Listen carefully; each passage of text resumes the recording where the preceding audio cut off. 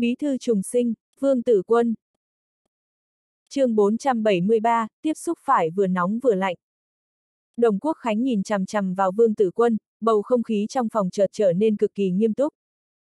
Thư ký trưởng đào rất thích hợp cho công tác hiện tại.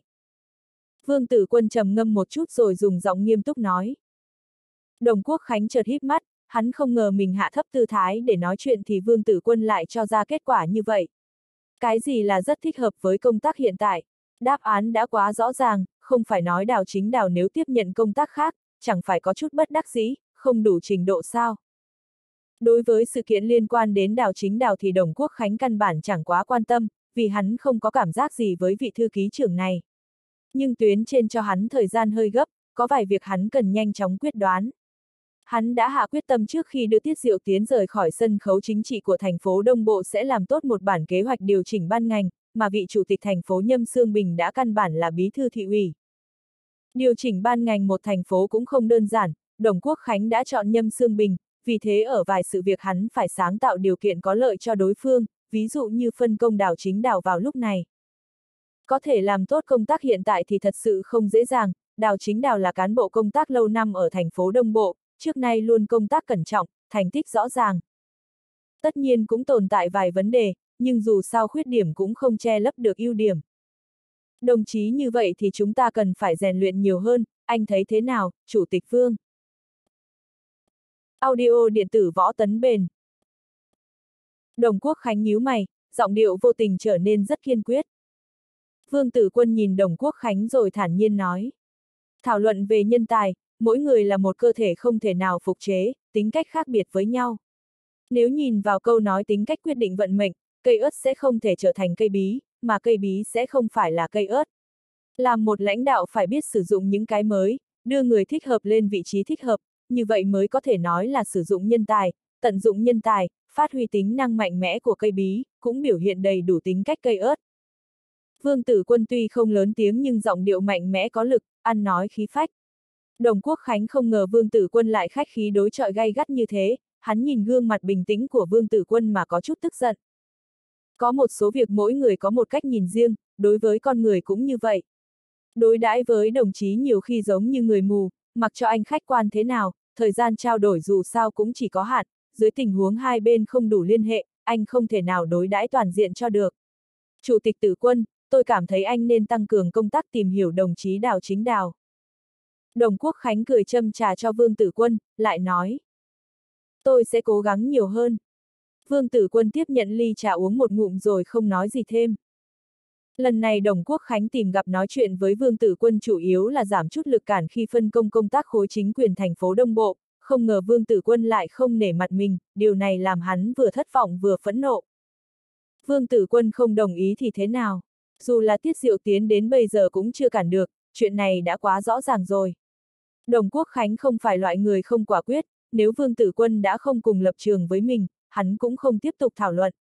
Thế là nói thêm vài câu với Vương Tử Quân, sau đó để đối phương rời khỏi phòng làm việc của mình. Khối chính quyền thành phố không có ngọn gió không lọt tường, sau khi Đồng Quốc Khánh tìm vài vị phó chủ tịch thành phố đến nói chuyện, vấn đề phân công công tác của khối chính quyền thành phố lại được lan truyền rộng rãi. Trong những lời nghị luận kia thì điều mọi người quan tâm nhiều nhất chính là Đào Chính Đào lấy thân phận thư ký trưởng văn phòng khối chính quyền thành phố để chủ quản công tác xây dựng. Vào tình huống này mà Đào Chính Đào lại chủ quản công tác xây dựng cực kỳ quan trọng của khối chính quyền thành phố, đây đã là một tình huống quá rõ ràng. Đào Chính Đào thật sự rất đắc ý dưới ánh mắt chú ý của mọi người, trong thời gian một ngày thì hầu như tất cả lãnh đạo đơn vị ban ngành trong thành phố đều gọi điện thoại cho hắn. Tuy đám lãnh đạo kia vẫn xưng hô với hắn như bình thường, thế nhưng vào lúc này hắn lại mơ hồ cảm nhận ẩn ý trong lời nói của đối phương. Ngoài vấn đề gọi điện thoại đến, người đến phòng làm việc của đoạn chính đào cũng càng nhiều hơn, dù là những phó thư ký trưởng trước nay không phục tùng cũng tìm đến, vẻ mặt đám người này cực kỳ sáng lạn, tươi cười rạng rỡ. Thư ký trưởng đào, đám anh em chúng tôi đã theo ngài không ít năm, sau này lãnh đạo cũng nên quan tâm đến chúng tôi nhiều hơn, chúng tôi thật sự đều phải dựa vào ngài. Đúng, thư ký trưởng, chúng tôi là những cán bộ do một tay ngài đề bạt lên, sau này ngài cũng không thể nào mặc kệ chúng tôi được. Vài vị chủ nhiệm trong văn phòng khối chính quyền thành phố tập trung lại thảo luận vô cùng thân mật, tuy trước kia bọn họ cũng rất nịnh hót đào chính đào thế nhưng nào được như lúc này. Thư ký trưởng đào, chúng ta đóng cửa lại nói với nhau, thật sự anh nên cẩn thận một chút với Chủ tịch Vương, tôi nghe nói khi trưởng phòng đồng tìm gặp anh ấy nói về sự kiện của ngài, anh ấy đã ném phiếu chống. Một vị phó chủ nhiệm phòng nghiên cứu chính sách của thành phố khẽ đóng cửa phòng làm việc của Đào Chính Đào rồi nói với mọi người. Đào Chính Đào nhìn gương mặt ngưng trọng của tên phó chủ nhiệm kia mà trong lòng thầm cười lạnh, nhưng hắn cũng không mở miệng mà chờ cho đối phương nói tiếp. Dù sao đối với hắn đứng đây nghe những lời đánh giá của bọn họ với mình cũng không phải là điều gì xấu. Tôi cũng có nghe nói về vấn đề này, nhưng khi đó hình như trưởng phòng đồng thật sự rất mất hứng. Đồng chí là bí thư đảng ủy của phòng quản lý sự vụ cơ quan trầm ngâm một chút rồi lên tiếng. Hai người này mở miệng thì những người khác cũng cảm thấy có chút khó khăn, nhưng bây giờ bọn họ hiểu rõ mình không thể nào không thể hiện lập trường của mình. Tuy bọn họ không muốn đắc tội với Vương Tử Quân, thế nhưng bọn họ cũng không muốn đắc tội với Đào Chính Đào. Dù sao bây giờ danh tiếng của Đào Chính Đào cũng rất mạnh, hơn nữa lại là thủ trưởng trực tiếp của bọn họ, nếu như không mở miệng nói theo Đào Chính Đào, chỉ sợ được không bù mất. Các anh đã quá lo lắng rồi, có chủ tịch Nhâm và trưởng phòng đồng giúp đỡ, Vương Tử Quân dù là phó chủ tịch thường vụ thành phố, chỉ sợ lên tiếng phản đối cũng không có mấy tác dụng. Tôi cảm thấy thật sự là như vậy. Đào chính đào nghe những lời nịnh nọt của đám người chung quanh thì trong lòng thầm sảng khoái, hắn dù không quá quan tâm đến những lời như vậy, thế nhưng dù là ai cũng thích nghe những lời êm ái lọt tai. Sau khi đám người bên cạnh mở miệng thì đào chính đào cười ha hả nói. Các anh chú ý một chút, không cần đem những lời nghị luận ở đây nói ra bên ngoài, nếu không cũng đừng trách tôi không khách khí với các anh. Mặt khác các anh cũng phải nhớ kỹ cho tôi, Chủ tịch Phương nói chuyện với trưởng phòng đồng chỉ là nói ra ý kiến hiện tại của mình, tôi tin tưởng đến lúc họp bàn thì Chủ tịch Vương sẽ giúp đỡ tôi. Đào chính đào nói rất đường hoàng nhưng càng như vậy càng làm cho người ta cảm thấy kỳ quái, rất nhiều người nhìn vẻ mặt của đào chính đào mà gương mặt chợt biến đổi. Chủ tịch Vương sẽ không thay đổi nhanh như vậy chứ? Một tên cán bộ đứng trong góc khẽ quay sang hỏi đồng bạn của mình. Hi hi, những chuyện này ai mà biết được, nhưng anh Đào đã nói rõ như vậy, anh còn chưa hiểu sao. Bây giờ Bí Thư Tiết đã không quan tâm đến tình huống của thành phố Đông Bộ, mà Chủ tịch Nhâm lại có quan hệ tốt với Bí Thư Phạm, lại có sự giúp đỡ của trưởng phòng đồng, anh cảm thấy Chủ tịch Vương sẽ như thế nào? Nguồn tại http 2 gạch chéo gạch chéo tiuie nặng en. Dù là lên tiếng hỏi ngược lại nhưng thật sự là người này đã giải thích rõ ràng, tên cán bộ kia có chút nghi vấn, hắn trầm ngâm một chút rồi cũng không nói gì thêm. Đồng Quốc Khánh tìm vài vị phó chủ tịch để nói chuyện, phần lớn bọn họ nói chuyện với trưởng phòng đồng xong thì đều đi đến phòng làm việc của Vương Tử Quân. Nhưng ngoài Trương Thông và Lưu Nham Phú còn có tư tưởng cố định, đám người khác đều có ý nghĩ lập lờ nước đôi. Vương Tử Quân cũng không quan tâm đến vấn đề này, dù hắn có quan hệ rất tốt với vài vị phó chủ tịch thành phố, thế nhưng điều này cũng không có nghĩa là bọn họ sẽ giúp đỡ mình một cách vô điều kiện, dù sao thì bọn họ cũng có tính toán riêng của mình. Chính hắn dù là phó chủ tịch thường vụ, nhưng lúc này thế cục ở thành phố Đông Bộ đang biến đổi từng ngày, ai cũng phải tìm con đường phù hợp cho mình. Tất nhiên sẽ không ai đám đắc tội một vị đại thần từ trên tỉnh xuống có nhiệm vụ quan trọng là phân phối ban ngành thành phố Đông Bộ như Đồng Quốc Khánh, bọn họ thật sự rất quan tâm đến tình huống mình sẽ đứng đối lập với trưởng phòng đồng. Chủ tịch Vương, vừa rồi văn phòng khối chính quyền cho ra thông báo, 3 giờ chiều nay sẽ tổ chức hội nghị văn phòng chủ tịch bàn về việc phân công cho các vị phó chủ tịch. Triệu Quốc Lương đi vào trong phòng báo cáo cho Vương Tử Quân, sau đó khẽ nói. Đồng thời có nghe nói trưởng phòng đồng sẽ tham gia hội nghị lần này. Hội nghị văn phòng chủ tịch bình thường tập hợp các vị chính phó chủ tịch trong thành phố, lần này Đồng Quốc Khánh hạ mình tham gia, mục đích thế nào thì đã quá rõ ràng rồi. Đồng Quốc Khánh này thật sự là khinh người quá đáng, hắn dựa vào cái gì để tham gia hội nghị văn phòng chính quyền của chúng ta. Khi Triệu Quốc Lương đi vào phòng báo cáo thì Lưu Nham Phú cũng có mặt, hắn đang bàn với Vương Tử Quân về vài vấn đề, bây giờ nghe xong lời của Triệu Quốc Lương thì vỗ bàn thật mạnh nói. Anh Lưu, anh tức giận cũng không được gì, anh không biết tính chất của tổ công tác sao. Đừng nói là hội nghị văn phòng chủ tịch, dù là một cuộc họp nghiệp vụ của phó chủ tịch, nếu cảm thấy cần thì thế nào bọn họ cũng tham gia. Vương Tử Quân cười khoát tay áo với Lưu Nham Phú rồi cười ha hả nói. Lưu Nham Phú cười lạnh một tiếng. Chủ tịch tử quân, Đồng Quốc Khánh này có tướng ăn tướng ở rất xấu, hắn giúp đỡ Nhâm Sương Bình thì giúp Nhâm Sương Bình, nhưng ngay cả những chuyện thế này cũng tự mình ra tay, cũng không biết khi Nhâm Sương Bình tiến lên sẽ làm một vị bí thư thị ủy như thế nào. Vương Tử Quân cười cười, hắn cũng không lên tiếng thừa nhận câu nói của Chủ tịch Lưu Nham Phú. Khi hai người Vương Tử Quân và Lưu Nham Phú đang trò chuyện thì Phó Chủ tịch Trương Thông đi đến, hắn nhìn thoáng qua Lưu Nham Phú ở bên cạnh Vương Tử Quân, sau đó trầm giọng nói. Chủ tịch Vương, anh nhận được thông báo họp chưa? Đã nhận được. Vương Tử Quân chờ Trương Thông ngồi xuống ghế thì mỉm cười trả lời. Chủ tịch Vương, vừa rồi tôi đã đụng mặt vài vị phó chủ tịch trên bậc cầu thang, cũng dò xét ý nghĩ của bọn họ. Ngoài anh Trúc căn bản không nói lời nào, các vị còn lại thật sự dùng những lời lẽ rất ẩn giấu, tôi thấy cũng không quá an toàn. Trương Thông tiếp nhận ly trà từ tay Vương Tử Quân, hắn uống một ngụm, sau đó dùng giọng không chút cố kỵ nhìn về phía Vương Tử Quân rồi trầm giọng nói. À, thật không? Vương Tử Quân cười nhạt một tiếng, vẻ mặt không chút biến đổi.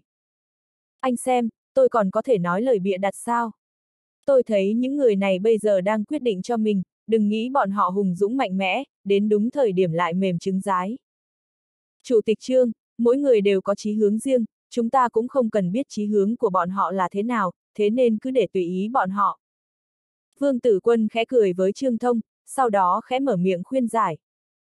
Trong số những phó chủ tịch có quan hệ gần thì Vương Tử Quân thân mật nhất với Lưu Nham Phú, người hắn cực kỳ không tín nhiệm chính là Trương Thông.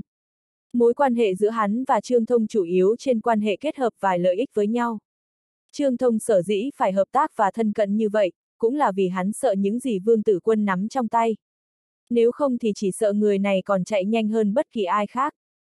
Tuy điều này ai cũng thầm hiểu rõ nhưng Vương Tử Quân lại không ngốc nói trắng ra.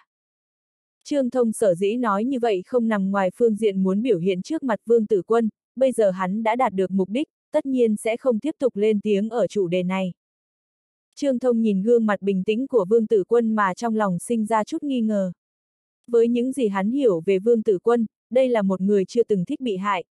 Lúc này Vương Tử Quân có quan hệ không hài hòa với Nhâm Sương Bình, nhưng hiện tại hắn lại có biểu hiện quá bình tĩnh trước sức EDP nặng nề của Nhâm Sương Bình và Đồng Quốc Khánh. Này cậu kia, cậu đến nhìn xem, cậu quét dọn phòng họp thế nào mà vẫn còn bẩn như vậy. Nếu để cho các vị chủ tịch thấy được như vậy, cuộc họp sẽ thế nào? Một gian phòng không quét dọn cho tốt thì sao chỉ cả thiên hạ? Cậu đừng tưởng chuyện quét dọn phòng họp là đơn giản, tôi nói cho cậu biết, việc nhỏ làm không xong thì đến bao giờ mới làm được chuyện lớn. Đào chính đào chỉ vào một vệt nước trên bàn, vẻ mặt hắn rất nghiêm túc, hắn trầm giọng nói lời phê bình với một nhân viên công tác tên là Tiểu Lý vừa đến nhận việc ở khối chính quyền thành phố chưa được bao lâu. Tiểu Lý thấy thư ký trưởng phê bình thì cũng không dám phản bác, nhanh chóng sửa sai và cúi đầu nhận lỗi. Thư ký trưởng, Tiểu Lý còn trẻ, làm việc có chút hấp tấp nhưng thái độ công tác là rất tốt. Đây là một mầm tốt, chỉ cần thư ký trưởng dạy bảo vài năm, sau này văn phòng khối chính quyền thành phố sẽ có thêm những cán bộ nghiệp vụ nòng cốt. Phó chủ nhiệm văn phòng khối chính quyền thành phố là Lưu Đắc Lôi có quan hệ khá tốt với Tiểu Lý, khi thấy Tiểu Lý đứng yên không biết làm sao thì vội vàng lên tiếng. chương 474, khen rồi giết. Đào chính đào cũng rất nể mặt Lưu Đắc Lôi, hơn nữa hắn cũng thật sự không muốn ép Tiểu Lý. Bây giờ hắn nghe thấy Lưu Đắc Lôi nói như vậy thì càng nở nụ cười. Đắc Lôi, đây không phải là chuyện gì lớn, nhưng càng là chuyện nhỏ thì chúng ta càng nên cho ra yêu cầu cao, chỉ khi nghiêm khắc yêu cầu mình trên chuyện nhỏ, như vậy mới không vấp phải sai lầm trên chuyện đại sự. Tiểu lý, có nghe thấy không, thư ký trưởng sở dĩ phê bình cũng là vì quan tâm đến cậu, tiểu tử cậu chỉ cần chú tâm quan sát sẽ thấy rõ thư ký trưởng là một lãnh đạo rất tốt. Tiểu lý gật đầu như gà mổ thóc, hắn cũng nhanh chóng nói thêm vài lời nhận sai với thư ký trưởng đào. Lúc này đào chính đào khoát tay cực kỳ uy nghiêm với tiểu lý, sau đó ưỡn chiếc bụng có hơi mập đi về một hướng khác. Tiểu lý, cậu hôm nay thật sự không may, nhưng cũng là thời điểm mà anh đào đang vui, hì hì. Một vị nhân viên khác cùng quét dọn với tiểu lý thấy thư ký trưởng đào chính đào đi xa, hắn tiến lên vỗ vai tiểu lý rồi cười ha hả nói. Tiểu lý đến công tác ở văn phòng khối chính quyền thành phố chưa lâu, đây là lần đầu tiên được nói chuyện với một lãnh đạo như đào chính đào. Hắn dùng ánh mắt nghi ngờ nhìn vị đồng sự của mình rồi dùng giọng không tin nói. Anh Tôn, anh có lầm không, vì sao thư ký trưởng đang vui lại ồn ào với tôi như vậy? Tiểu tử cậu mới đến còn chưa biết rõ tình hình, chưa biết rõ tính cách của thư ký trưởng đào, anh ấy càng vui càng thích dạy bảo người khác. Hôm nay nếu không có chủ nhiệm lưu lên tiếng, chỉ sợ cậu sẽ bị mắng 5-6 phút. Cậu biết hôm nay là hội nghị gì không? Chính là hội nghị sẽ phân công cho thư ký trưởng đào chính đào chủ quản khối công tác xây dựng của thành phố Đông Bộ, cậu nghĩ xem thư ký trưởng đào sẽ không vui sao? Tôi đây đã làm công tác vệ sinh phòng họp bao nhiêu lần, nhiều lần còn không sạch bằng cậu lúc này, thế nhưng có bị thư ký trưởng đào nói gì đâu. Tiểu lý nhìn bóng lưng của tên đồng sự mà không khỏi ngây người, sau khi suy nghĩ cẩn thận thì hắn thừa dịp bốn phía không có ai mắng một câu. Con bà nó, có một câu về thuận miệng thế này, đi làm chẳng có gì, cứ mãi họp hành, hội nghị, đại hội đến mức thần kinh tan vỡ. Tuần mở họp tuần, tháng mở họp tháng, bất cứ lúc nào cũng phải kiểm điểm, cuối năm họp năm. Những câu về như vậy dù có ý trêu chọc nhưng thật sự là một lời miêu tả chân thật. Vì thế đối với các cán bộ của khối chính quyền thành phố thì hội nghị văn phòng chủ tịch căn bản chỉ là một điều cực kỳ bình thường. Nhưng hội nghị ngày hôm nay lại có bầu không khí khác hẳn ngày thường, ngay cả những cán bộ công tác lâu năm cũng không dám xem thường. Vì hội nghị hôm nay chẳng những có các vị chủ tịch thành phố tham gia, còn có vị lãnh đạo tổ công tác tỉnh ủy, phó phòng thường vụ phòng tổ chức là Đồng Quốc Khánh tham dự, trường hợp như vậy là rất khác biệt. Dưới tình huống bình thường thì khối chính quyền tổ chức hội nghị văn phòng chủ tịch, cho dù xảy ra chuyện gì thì bình thường đều là cúi đầu không thấy ngẩng đầu thấy, nói theo mức độ nào đó thì rõ ràng là người cùng một nhà, căn cứ vào nguyên tắc không nói chuyện xấu trong nhà ra ngoài thì bọn họ phần lớn cười xuề mà qua. Nhưng tình huống lúc này lại không giống, lúc này hội nghị văn phòng chủ tịch không những có các vị chủ tịch thành phố, còn có lãnh đạo tổ công tác là Đồng Quốc Khánh, nếu như có chuyện gì bị truy cứu ra, chỉ sợ uy tín của khối chính quyền cũng giảm xuống. Đám cán bộ văn phòng khối chính quyền thành phố đều không muốn rời khỏi vị trí của mình, điều này cũng không khó hiểu. Bọn họ ngồi trên vị trí hiện tại chẳng những có danh nghĩa tốt, hơn nữa tương lai của cán bộ văn phòng khối chính quyền sẽ tốt hơn ở dưới đơn vị rất nhiều. Nếu gió mây thay đổi, như vậy vận mệnh của bọn họ rất có thể sẽ đổi rời. Vì vậy mà đám nhân viên văn phòng đều cực kỳ cẩn thận, phòng họp cũng trở nên cực kỳ uy nghiêm và nghiêm túc. 5 phút trước khi bắt đầu hội nghị, Vương Tử Quân và Nhâm Sương Bình một trước một sau đi vào trong phòng họp. Hai người chờ thêm một lát, cuối cùng hình bóng của Đồng Quốc Khánh cũng xuất hiện ngoài cửa. Trưởng phòng đồng, mời ngài sang bên này. Dựa theo ý của Nhâm Sương Bình, đó là hắn sẽ đón tiếp và cùng đi với trưởng phòng, thế nhưng Đồng Quốc Khánh lại kịch liệt phản đối điều này. Dưới tình huống bất đắc dĩ thì Nhâm Sương Bình cũng đành thôi. Sau khi Đồng Quốc Khánh đi vào phòng họp, Nhâm Sương Bình nhanh chóng đưa tay mời Đồng Quốc Khánh ngồi lên vị trí trung tâm.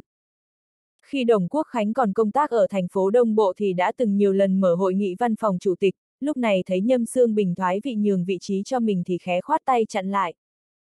Chủ tịch Nhâm, tôi chỉ đến nghe ngóng một chút mà thôi, trước khi đến đã nói rõ quy củ với mình, đó là chỉ nghe mà không nói. Anh chủ trì thế nào thì cứ tự nhiên, không cần quan tâm đến tôi. Đồng Quốc Khánh ngồi xuống chiếc ghế ở một góc, bộ dạng chỉ đến nghe mà không quá quan tâm, nhưng đám người trong phòng họp cũng không dám thật sự xem trưởng phòng là người ngoài rìa. Đám cán bộ lãnh đạo khối chính quyền thành phố cùng cho ra một loại cảm nhận, lúc này đang có một con sư tử ngồi cách mình không xa. Vương Tử Quân tất nhiên sẽ không cho rằng lời nói của Đồng Quốc Khánh là thật, hắn khẽ xẹt mắt nhìn trưởng phòng đồng, chợt thấy lãnh đạo khẽ gật đầu rồi nhìn thoáng qua Nhâm Sương Bình đang bắt đầu chủ trì hội nghị. Khụ khụ. Nhâm Sương Bình khẽ ho khan một tiếng, hắn đưa mắt nhìn và giao hòa ánh mắt với Đồng Quốc Khánh một chút trên không trung, cuối cùng trầm giọng nói. Hôm nay tổ chức hội nghị văn phòng chủ tịch, đối với chúng ta thì sẽ là một hội nghị không tầm thường. Hôm nay có lão chủ tịch là phó phòng thường vụ phòng tổ chức tỉnh ủy kiêm tổ trưởng tổ công tác là Đồng Quốc Khánh đến tham gia, chúng ta hãy dùng tràng pháo tay nhiệt liệt để hoan nghênh trưởng phòng đồng đến chỉ đạo công tác.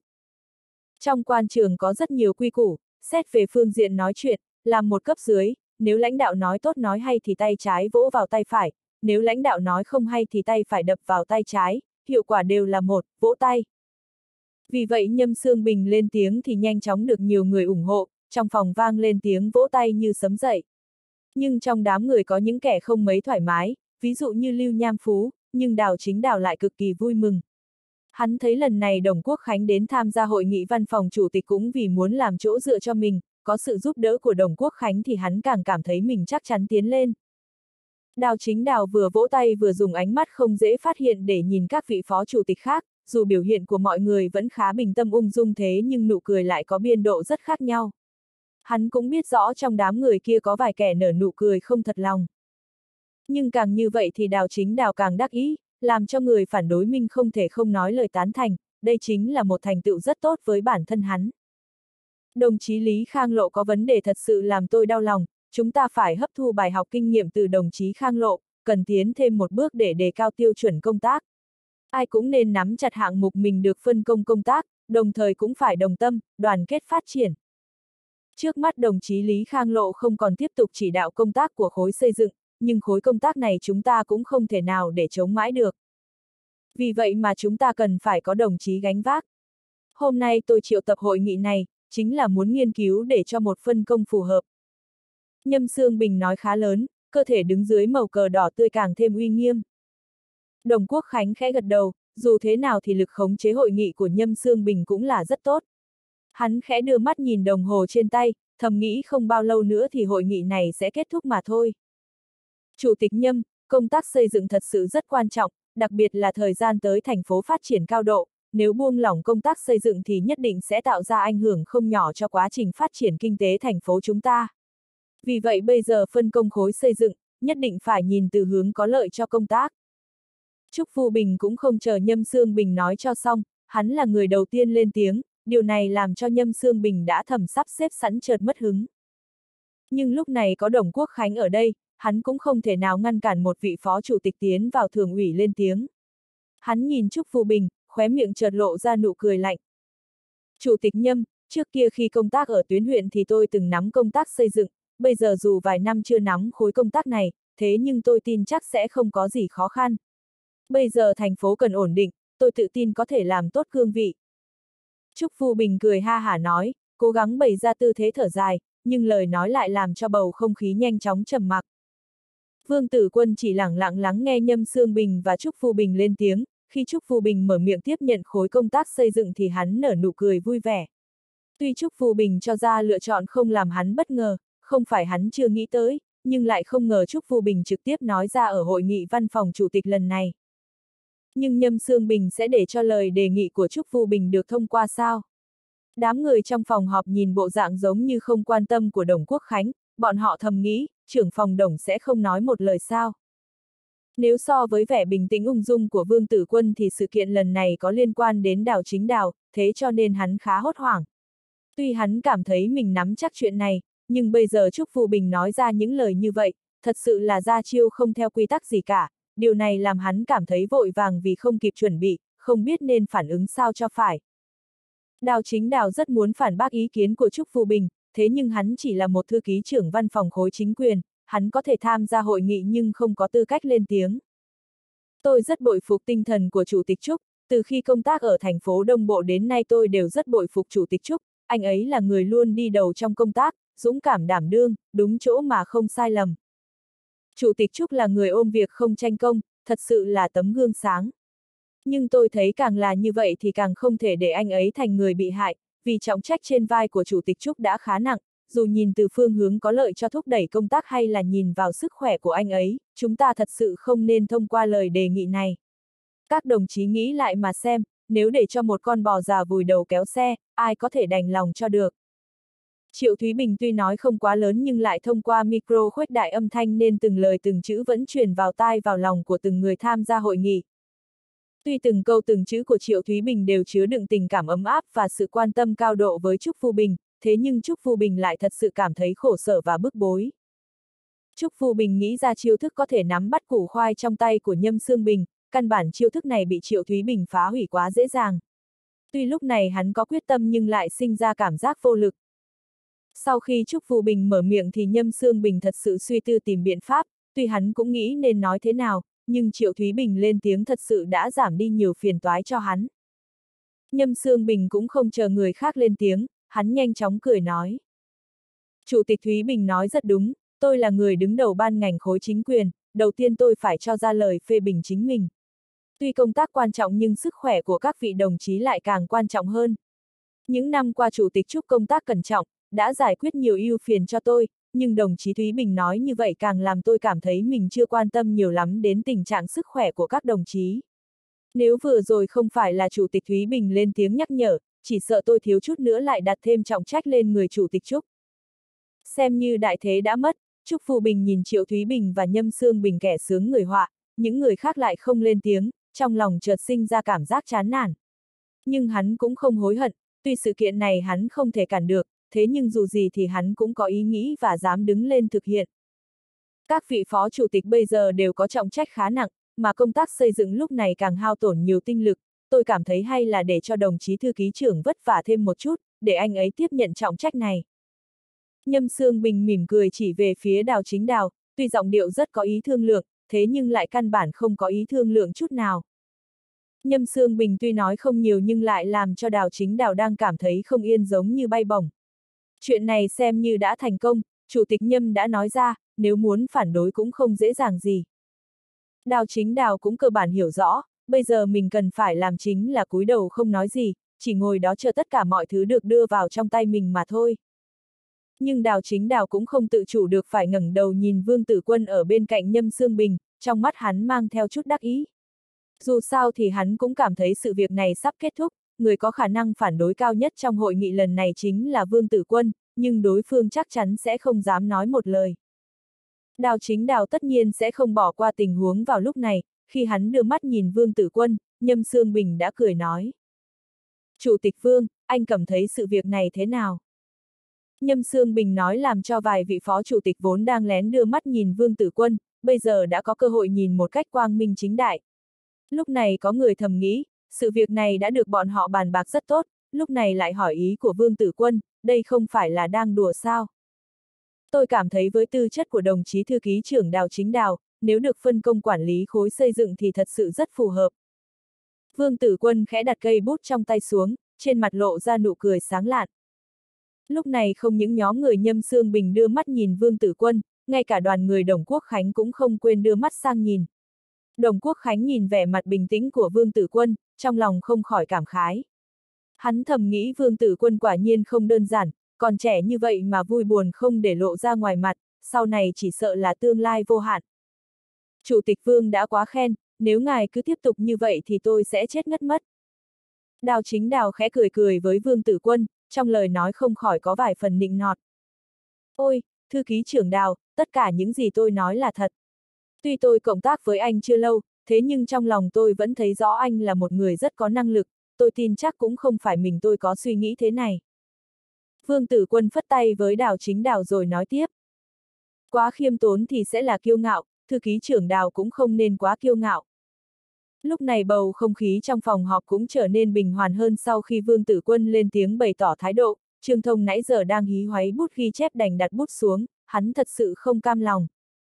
Nhâm Sương Bình thật sự không ngờ Vương Tử Quân đồng ý nhanh như vậy, cảm giác đầu tiên của hắn là không chút vui vẻ, vì hắn thấy mình giống như dùng đại bác bắn mũi vậy. Vương Tử Quân này thật sự là quá trơn trượt, nhưng dù là thế nào thì mình và Đồng Quốc Khánh đã liên thủ với nhau, hắn cũng không thể không chấp nhận tình huống thất bại. Trong đầu lóe lên ý nghĩ như vậy, Nhâm Sương Bình thật sự cảm thấy có chút tiếc nuối, nhưng hắn lại chuẩn bị để lên tiếng kết thúc hội nghị, coi như nhanh gọn cho xong. Nhưng đúng lúc này Vương Tử Quân lại chợt nói. Nhưng tôi thật sự phản đối để cho đồng chí thư ký trưởng đào tiếp nhận quản lý khối xây dựng. Vương Tử Quân cho ra ý kiến phản đối, đó là phản đối phân công đào chính đào tiếp nhận khối xây dựng của thành phố Đông Bộ. Hai câu nói thật sự như rạch trời phá đất, làm cho không ít người cảm thấy ngây ngẩn. Vương Tử Quân muốn làm gì? Vừa rồi hắn đã khen ngợi đào chính đào, bây giờ lại phản pháo không cho đào chính đào tiếp nhận công tác xây dựng, đây không phải đang tự vả lên mặt mình sao? Không phải tối qua uống quá nhiều rượu, bây giờ không kịp phản ứng đấy chứ? Nếu so với tình huống kinh dị của mọi người thì Nhâm Sương Bình lại cảm thấy rất vui sướng, đó là thứ hắn cần, chính là hắn muốn cảm giác sung sướng khi được đả kích Vương Tử Quân. Chỉ khi nào đả kích được Vương Tử Quân thì hắn mới có thể tìm về uy tín của mình. Nhưng muốn đả kích Vương Tử Quân cũng không phải dễ dàng gì, tuy trước nay hắn luôn chú ý, thế nhưng thật sự không tìm được cơ hội nào để có thể ra tay. Bây giờ Nhâm Sương Bình cho rằng sự việc sắp kết thúc thì không ngờ cơ hội lại đến. Vương Tử Quân lên tiếng phản đối, bây giờ hắn có cơ hội phát biểu để có thể đả kích bộ dạng bệ vệ kiêu ngạo của Vương Tử Quân. Chỉ cần Nhâm Sương Bình có thể ép bộ dạng kiêu ngạo của Vương Tử Quân xuống rất thấp, như vậy chỗ tốt là không thiếu. Thế nên hắn càng nghĩ thì hai mắt càng sáng rực lên. Chủ tịch Vương, anh nói vậy là có ý gì? Nếu như trước đó anh còn chưa suy nghĩ cho kỹ, vậy thì chờ suy xét kỹ càng hơn rồi nói sau. Nhâm Sương Bình trầm mặt xuống dùng giọng uy nghiêm nói. Chủ tịch Nhâm, tôi cũng đã suy nghĩ kỹ rồi, vừa rồi là tôi khẳng định năng lực công tác của thư ký trưởng đào chính đào, nhưng đó cũng không nói thư ký trưởng đào là người thích hợp nắm công tác của khối xây dựng. Vẻ mặt Vương Tử Quân không chút biến đổi, vẫn là nụ cười bình tĩnh, thật sự làm cho Nhâm Sương Bình sinh ra cảm giác rất xấu. Vương tử quân này thật sự muốn chết, cũng không biết nhìn vào tình huống hiện tại, chỉ biết mò mẫm nói bừa. Hi hi, chủ tịch Nhâm đang chờ tên này đâm đầu vào, lúc này lại đưa đầu vào họng súng, cũng không thể trách ai được. Đào chính đào thầm nghĩ như vậy, hắn nhìn chằm chằm vào vương tử quân, dù sao thì tình hình lúc này trực tiếp liên quan đến tương lai của hắn sau này. Chủ tịch vương, anh có lời gì cứ nói thẳng, không nên ấp a ấp úng như vậy, cũng không ra bộ dạng gì. Nhâm Sương Bình dùng ánh mắt lạnh lùng nhìn Vương Tử Quân, sau đó nói tiếp. Sao anh biết thư ký trưởng đào không phù hợp công tác này? Anh nói rõ ràng cho mọi người được biết đi. Chủ tịch Nhâm nói đúng, Chủ tịch Phương, tuy đây là tình huống chúng ta đóng cửa nói chuyện trong nhà nhưng càng như vậy thì chúng ta càng phải chú ý đoàn kết, nếu mở miệng nói thì phải có sự phụ trách của mình. Triệu Thúy Bình khẽ nâng ly trà lên nhấp một ngụm rồi lên tiếng ngay sau khi Nhâm Sương Bình nói xong. Vương tử quân căn bản không nổi giận vì những lời chen ngang của Triệu Thúy Bình, ngược lại còn nở nụ cười. Chủ tịch Thúy Bình nói rất đúng, tôi đồng ý với ý kiến này. Vừa rồi tôi phản đối thư ký trưởng đào chủ quản khối xây dựng, chủ yếu là vì muốn tốt cho thư ký trưởng đào. Vương tử quân nói rồi vỗ tay thật mạnh lên bàn nói. Thư ký trưởng đào, nghe nói anh em Triệu Ngọc Sơn là cháu của anh, mà bọn họ lại từ anh mà biết được tin tức đền bù giải tỏa khu quy hoạch kỹ thuật cao. Đào chính đào đang cảm thấy rất vui vẻ thì chợt chấn động, không ngờ mình đã áp dụng phương pháp để đưa anh em Triệu Ngọc Sơn đi nơi khác mà Vương Tử Quân vẫn biết được chuyện này. Tuy sự việc không lớn nhưng lại ảnh hưởng rất xấu, hơn nữa nó còn liên quan trực tiếp đến công tác xây dựng. Tôi không phải là người đưa tin cho bọn họ. Đào chính đào lớn tiếng nói sau khi Vương Tử Quân dứt lời, thế nhưng biểu hiện vẻ mặt lại làm cho người ta cảm thấy không đáng tin. Không phải anh nói thì ai nói. Thư ký trưởng đào, anh thật sự cảm thấy mình làm việc kín kẽ như lưới trời sao. Tôi nói cho anh biết, đám người Triệu Ngọc Sơn bỏ ra vài chục ngàn thu hồi vài triệu bạc, thế cho nên tôi thấy thư ký trưởng đào bàn tính thật sự mạnh mẽ hơn biết bao người, cảm thấy không nên cho anh đi quản khối xây dựng, nên đến chăm lo phương diện kinh tế thì hoàn toàn phù hợp. Vương tử quân lật văn kiện trong tay mình ra, gương mặt thật sự lạnh lẽo. Lúc này đầu óc đào chính đào rất rối loạn, thật sự đã là hỗn loạn, hắn không ngờ Vương Tử Quân có thể tìm ra mình từ trong miệng anh em Triệu Ngọc Sơn. Sau khi sự việc liên quan đến anh em Triệu Ngọc Sơn bị phát hiện và xử lý, hắn đã nhanh chóng xóa hết tất cả dấu vết có liên quan đến mình, nhưng không ngờ bây giờ lại bị Vương Tử Quân nắm chặt và cho mình một đâm khá nặng. Điều này sao có thể, Vương Tử Quân sao biết được chuyện này? Hàng loạt ý nghĩ bùng lên trong đầu đào chính đào, nhưng dù hắn nghĩ thế nào cũng không thể nào kéo cục diện quay về. Hành vi của đào chính đào rõ ràng là khả nghi không tuân theo quy định, nếu đẩy phần tử không tuân theo quy định này lên vị trí quan trọng, Nhâm Sương Bình căn bản cảm thấy đó là không thể. Không biết rõ cán bộ, đây là một đòn đau với Nhâm Sương Bình, có lẽ sẽ vì nguyên nhân này mà cơ hội tiến lên làm bí thư thị ủy của hắn sẽ bị nghiền nát. Chủ tịch Vương, anh đã nhận được tin tức này, sao không báo cáo cho khối chính quyền? Nhâm Sương Bình trầm ngâm một lát, biết rõ sự việc này không thể nào thành công, thế nên hắn nhanh chóng tỉnh táo lại. Hắn đã tìm ra sơ hở của Vương Tử Quân, thế là trầm giọng hỏi. Nhâm Sương Bình tuy hỏi vì sao Vương Tử Quân không báo cáo sớm, nhưng ý nghĩa sau đó là gì thì mọi người ở đây đều hiểu rất rõ. Chủ tịch Nhâm, tôi cũng vừa nhận được tin tức này từ ban ngành khu quy hoạch kỹ thuật cao, nếu không anh có thể hỏi đồng chí Trương Đảo Long, anh ấy là người phái cán bộ đến nói rõ kết quả điều tra cho tôi. Vương Tử Quân cười nhạt một tiếng, hắn nhanh chóng từ chối những lời nói lạnh lẽo của Nhâm Sương Bình. Tôi cũng vừa mới được biết. Câu nói này của Vương Tử Quân thật sự làm cho Nhâm Sương Bình cảm thấy rất ngột ngạt, nhưng hắn cũng không biết nói gì hơn, chỉ có thể dùng ánh mắt lạnh lùng nhìn Vương Tử Quân, dùng ánh mắt thể hiện sự phẫn nộ của mình. Đồng Quốc Khánh thấy sự việc biến đổi đột ngột, vẻ mặt chợt trở nên cực kỳ âm trầm, hắn nhanh chóng đứng lên nói. Chủ tịch Nhâm, tôi còn có việc. Đồng Quốc Khánh nói xong thì xoải bước đi ra phòng họp. Nhâm Sương Bình nhìn Đồng Quốc Khánh rời đi, hắn cố gắng muốn giữ lại nhưng bây giờ còn hội nghị cần chủ trì, thế là hắn chỉ có thể tiễn Đồng Quốc Khánh đến cửa, sau đó nhìn trưởng phòng đồng bỏ đi mà không nói gì hơn. Hội nghị sau đó cũng không phải thảo luận về việc ai tiếp quản công tác của Lý Khang Lộ, lại thảo luận về phương án xử lý hành vi của Đào Chính Đào. Ngay sau đó Đào Chính Đào đã bị mời ra khỏi phòng họp một cách không chút khách khí. Đối với chuyện của Đào Chính Đào, Đảng ủy chính quyền thành phố Đông Bộ nhanh chóng cho ra văn bản xử lý. Đó là điều đồng chí Thạch Kiên Dân đào xuống đảm nhiệm chức bí thư chuyên trách của hợp tác xã cung cấp và tiếp thị của thành phố Đông Bộ. Đào chính đào biết rõ hợp tác xã này là đơn vị gì, là đơn vị chịu sự chỉ huy trực tiếp của khối chính quyền, bí thư chuyên trách cũng không có thực quyền gì thực tế. Một văn bản bổ nhiệm đã đẩy một vị thư ký trưởng văn phòng khối chính quyền đầy ánh hào quang rời khỏi sân khấu chính trị thành phố Đông Bộ. Tuy sự kiện liên quan đến đào chính đào đã cho Nhâm Sương Bình một đả kích không nhỏ, nhưng dưới tình huống tiết diệu tiến sắp bị điều đi, Nhâm Sương Bình lại tiếp tục phấn chấn tinh thần, vẫn sinh động trên các phương tiện truyền thông đại chúng. Lại nửa tháng trôi qua, lúc này không khí mùa xuân càng nồng đậm hơn. Nửa tháng qua thành phố Đông Bộ nhìn thì có vẻ cực kỳ bình tĩnh, thế nhưng bên trong lại có không ít mạch nước ngầm cuồn cuộn dâng trào. Chủ tịch Vương, sự kiện Lý Khang Lộ và Tiết Nhất Phàm đều đã được điều tra rõ ràng, bây giờ đã chuyển sang cho cơ quan tư pháp. Triệu Quốc Lương cầm theo một tài liệu đi vào phòng báo cáo với Vương Tử Quân. Chuyển giao cho cơ quan tư pháp thì xem như vụ án đã xong, trong vụ án này, Lý Khang Lộ và Tiết Nhất Phàm thật sự làm cho không ít người lên án, nhưng điều làm cho Vương Tử Quân cảm thấy vui sướng chính là bí thư thị ủy Tiết Diệu Tiến căn bản không liên quan gì đến vụ án kia. Nhưng thời gian của bí thư Tiết Diệu Tiến ở thành phố Đông Bộ cũng không còn nhiều. Dù là thị ủy hay tỉnh ủy cũng không có mấy người nghĩ rằng bí thư Tiết Diệu Tiến sẽ ở lại thành phố Đông Bộ. Vương Tử Quân suy tư về cục diện biến đổi của thành phố Đông Bộ, thế là hắn lại rơi vào trầm tư. Chủ tịch Vương Triệu Quốc Lương còn có một hạng mục công tác chưa kịp báo cáo, dù hắn biết như vậy có quấy rầy Vương Tử Quân hay không, thế nhưng hắn vẫn phải xử lý cho xong, vì vậy mới trầm giọng lên tiếng. Vương Tử Quân bị Triệu Quốc Lương làm cho thức tỉnh, hắn chợt khoát tay chặn lời Triệu Quốc Lương nói. Chuyện gì? Chủ tịch Vương, vừa rồi nhận được điện thoại đến từ phòng làm việc của Chủ tịch Nhâm, nói là hôm nay mời anh đến nhà máy rượu Tân Nguyên, anh ấy yêu cầu anh nên xác định sự việc xây dựng nhà máy Tân Nguyên cho xong. Triệu Quốc Lương thấy vẻ mặt bình tĩnh của Vương Tử Quân thì mới tỏ ra yên lòng. Hạng mục xây dựng nhà máy rượu Tân Nguyên, Vương Tử Quân cũng không xa lạ gì, hạng mục này trước đó là do Lý Khang Lộ chạy về được.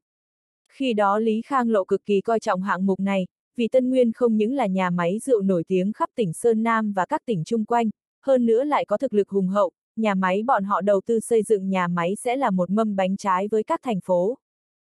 Trước khi Lý Khang Lộ gặp chuyện không may thì cũng là người có năng lực, hắn đã đàm phán tốt với nhà máy rượu Tân Nguyên. Nhưng khi hai bên ký hợp đồng và bắt đầu khởi công thì sự việc Lý Khang Lộ và Tiết Nhất Phàm chợt phát sinh, thế nên hạng mục hùng mạnh của nhà máy rượu Tân Nguyên cũng bị gác lại. Nói là gác lại nhưng cũng không mất quá nhiều thời gian, chỉ là 10 ngày mà thôi.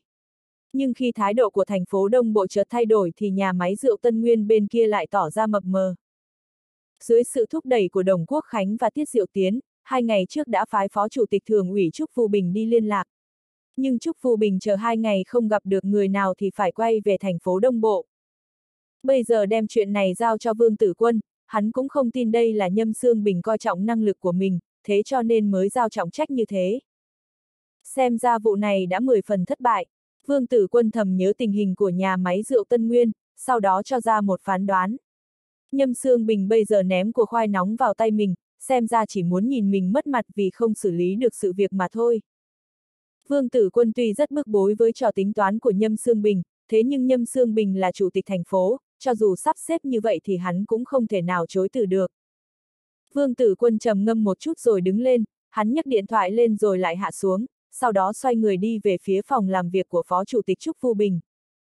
Lúc này Trúc Phu Bình đang ngồi bàn bạc với một người trong phòng, khi Vương Tử Quân đẩy cửa đi vào, hắn thấy ngồi đối diện với Trúc Phu Bình là một người đàn ông trung niên, người này đang cực kỳ chú ý lắng nghe những lời răn dạy của Phó Chủ tịch Trúc. Chủ tịch Vương, sao anh lại đến đây? Trúc Phu Bình thật sự không ngờ Vương Tử Quân sẽ đến phòng làm việc của mình, hắn đứng lên, sau đó nhiệt tình chào hỏi Vương Tử Quân. Vương Tử Quân cười cười nói. Đến vội cho nên cũng quên chào hỏi anh Vu Bình, cũng không quấy dậy anh nói chuyện đấy chứ. Không, Chúng tôi vừa lúc bàn xong. Tuy còn có chút chuyện chưa xong, thế nhưng lúc này Vương Tử Quân đi vào phòng làm việc của mình, Trúc Phu Bình tất nhiên sẽ không thể để cho Vương Tử Quân phải chờ lâu, cho nên chỉ có thể tiến chân vị giám đốc xí nghiệp kia đi mà thôi. Vị giám đốc xí nghiệp kia vì không đạt được chỉ tiêu kinh tế nên bị Trúc Phu Bình mắng cho một chặp, lúc này thấy Vương Tử Quân đến thì như gặp cứu tinh. Hắn không dám tiếp tục ở lâu trong phòng này, hắn nhanh chóng lên tiếng bắt chuyện chào hỏi Vương Tử Quân, sau đó lập tức rời khỏi phòng làm việc của Trúc Phu Bình. Anh Trúc, mọi người đều nói anh là người dễ tính, không ngờ lúc này lại nổi giận, đã làm cho vị giám đốc kia hoảng sợ mất mật. Vương Tử Quân tùy ý ngồi xuống đối diện với Trúc Phu Bình rồi khẽ nói. Trúc Phu Bình tự mình rót trà cho Vương Tử Quân rồi nói. Chủ tịch Vương, anh còn nói tôi, nếu thật sự anh là tôi, tôi dám chắc tên kia sẽ càng thêm sợ hãi. Có đôi khi chúng ta không tỏ thái độ mạnh mẽ, không tức giận thì bọn họ sẽ cho rằng chúng ta không quá coi trọng. Vương Tử Quân nghe thấy Trúc Phu Bình nói như vậy thì không khỏi bật cười, nhưng hắn cũng thật sự thừa nhận quan điểm của Trúc Phu Bình. Các vị giám đốc đơn vị đều là những người thành tinh, nếu muốn quản bọn họ cũng không phải dễ dàng gì.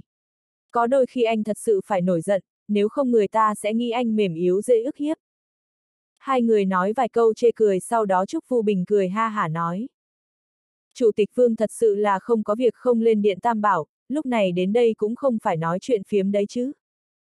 Vương Tử Quân cũng không khách khí, nói rõ ý nghĩ của mình, thế là gương mặt với nụ cười ha hả của Trúc Phu Bình nhanh chóng trở nên ngưng trọng. Chủ tịch Vương, sự kiện liên quan đến nhà máy rượu Tân Nguyên cũng không dễ làm. Trúc Phu Bình đốt một điếu thuốc rồi trầm ngâm một lát mới nói. Khi Nhâm Sương Bình tăng cường dựa về phía Đồng Quốc Khánh thì mối quan hệ giữa Vương Tử Quân và Trúc Phu Bình luôn được tăng cường. Vì vậy Vương Tử Quân tin chắc Trúc Phu Bình sẽ không nói bậy trên phương diện này, bây giờ bộ dạng nghiêm túc của Trúc Phu Bình càng làm cho Vương Tử Quân thấy sự việc không đơn giản. Trước đó Lý Khang Lộ dựa vào quan hệ của mình mà kéo nhà máy rượu Tân Nguyên đến thành phố Đông Bộ chúng ta xây dựng nhà máy, khi Lý Khang Lộ gặp chuyện không may thì xem như hạng mục này đã xong. Vài ngày trước tôi được bí thư tiết phái đến gặp mặt giám đốc các trường binh của nhà máy rượu Tân Nguyên.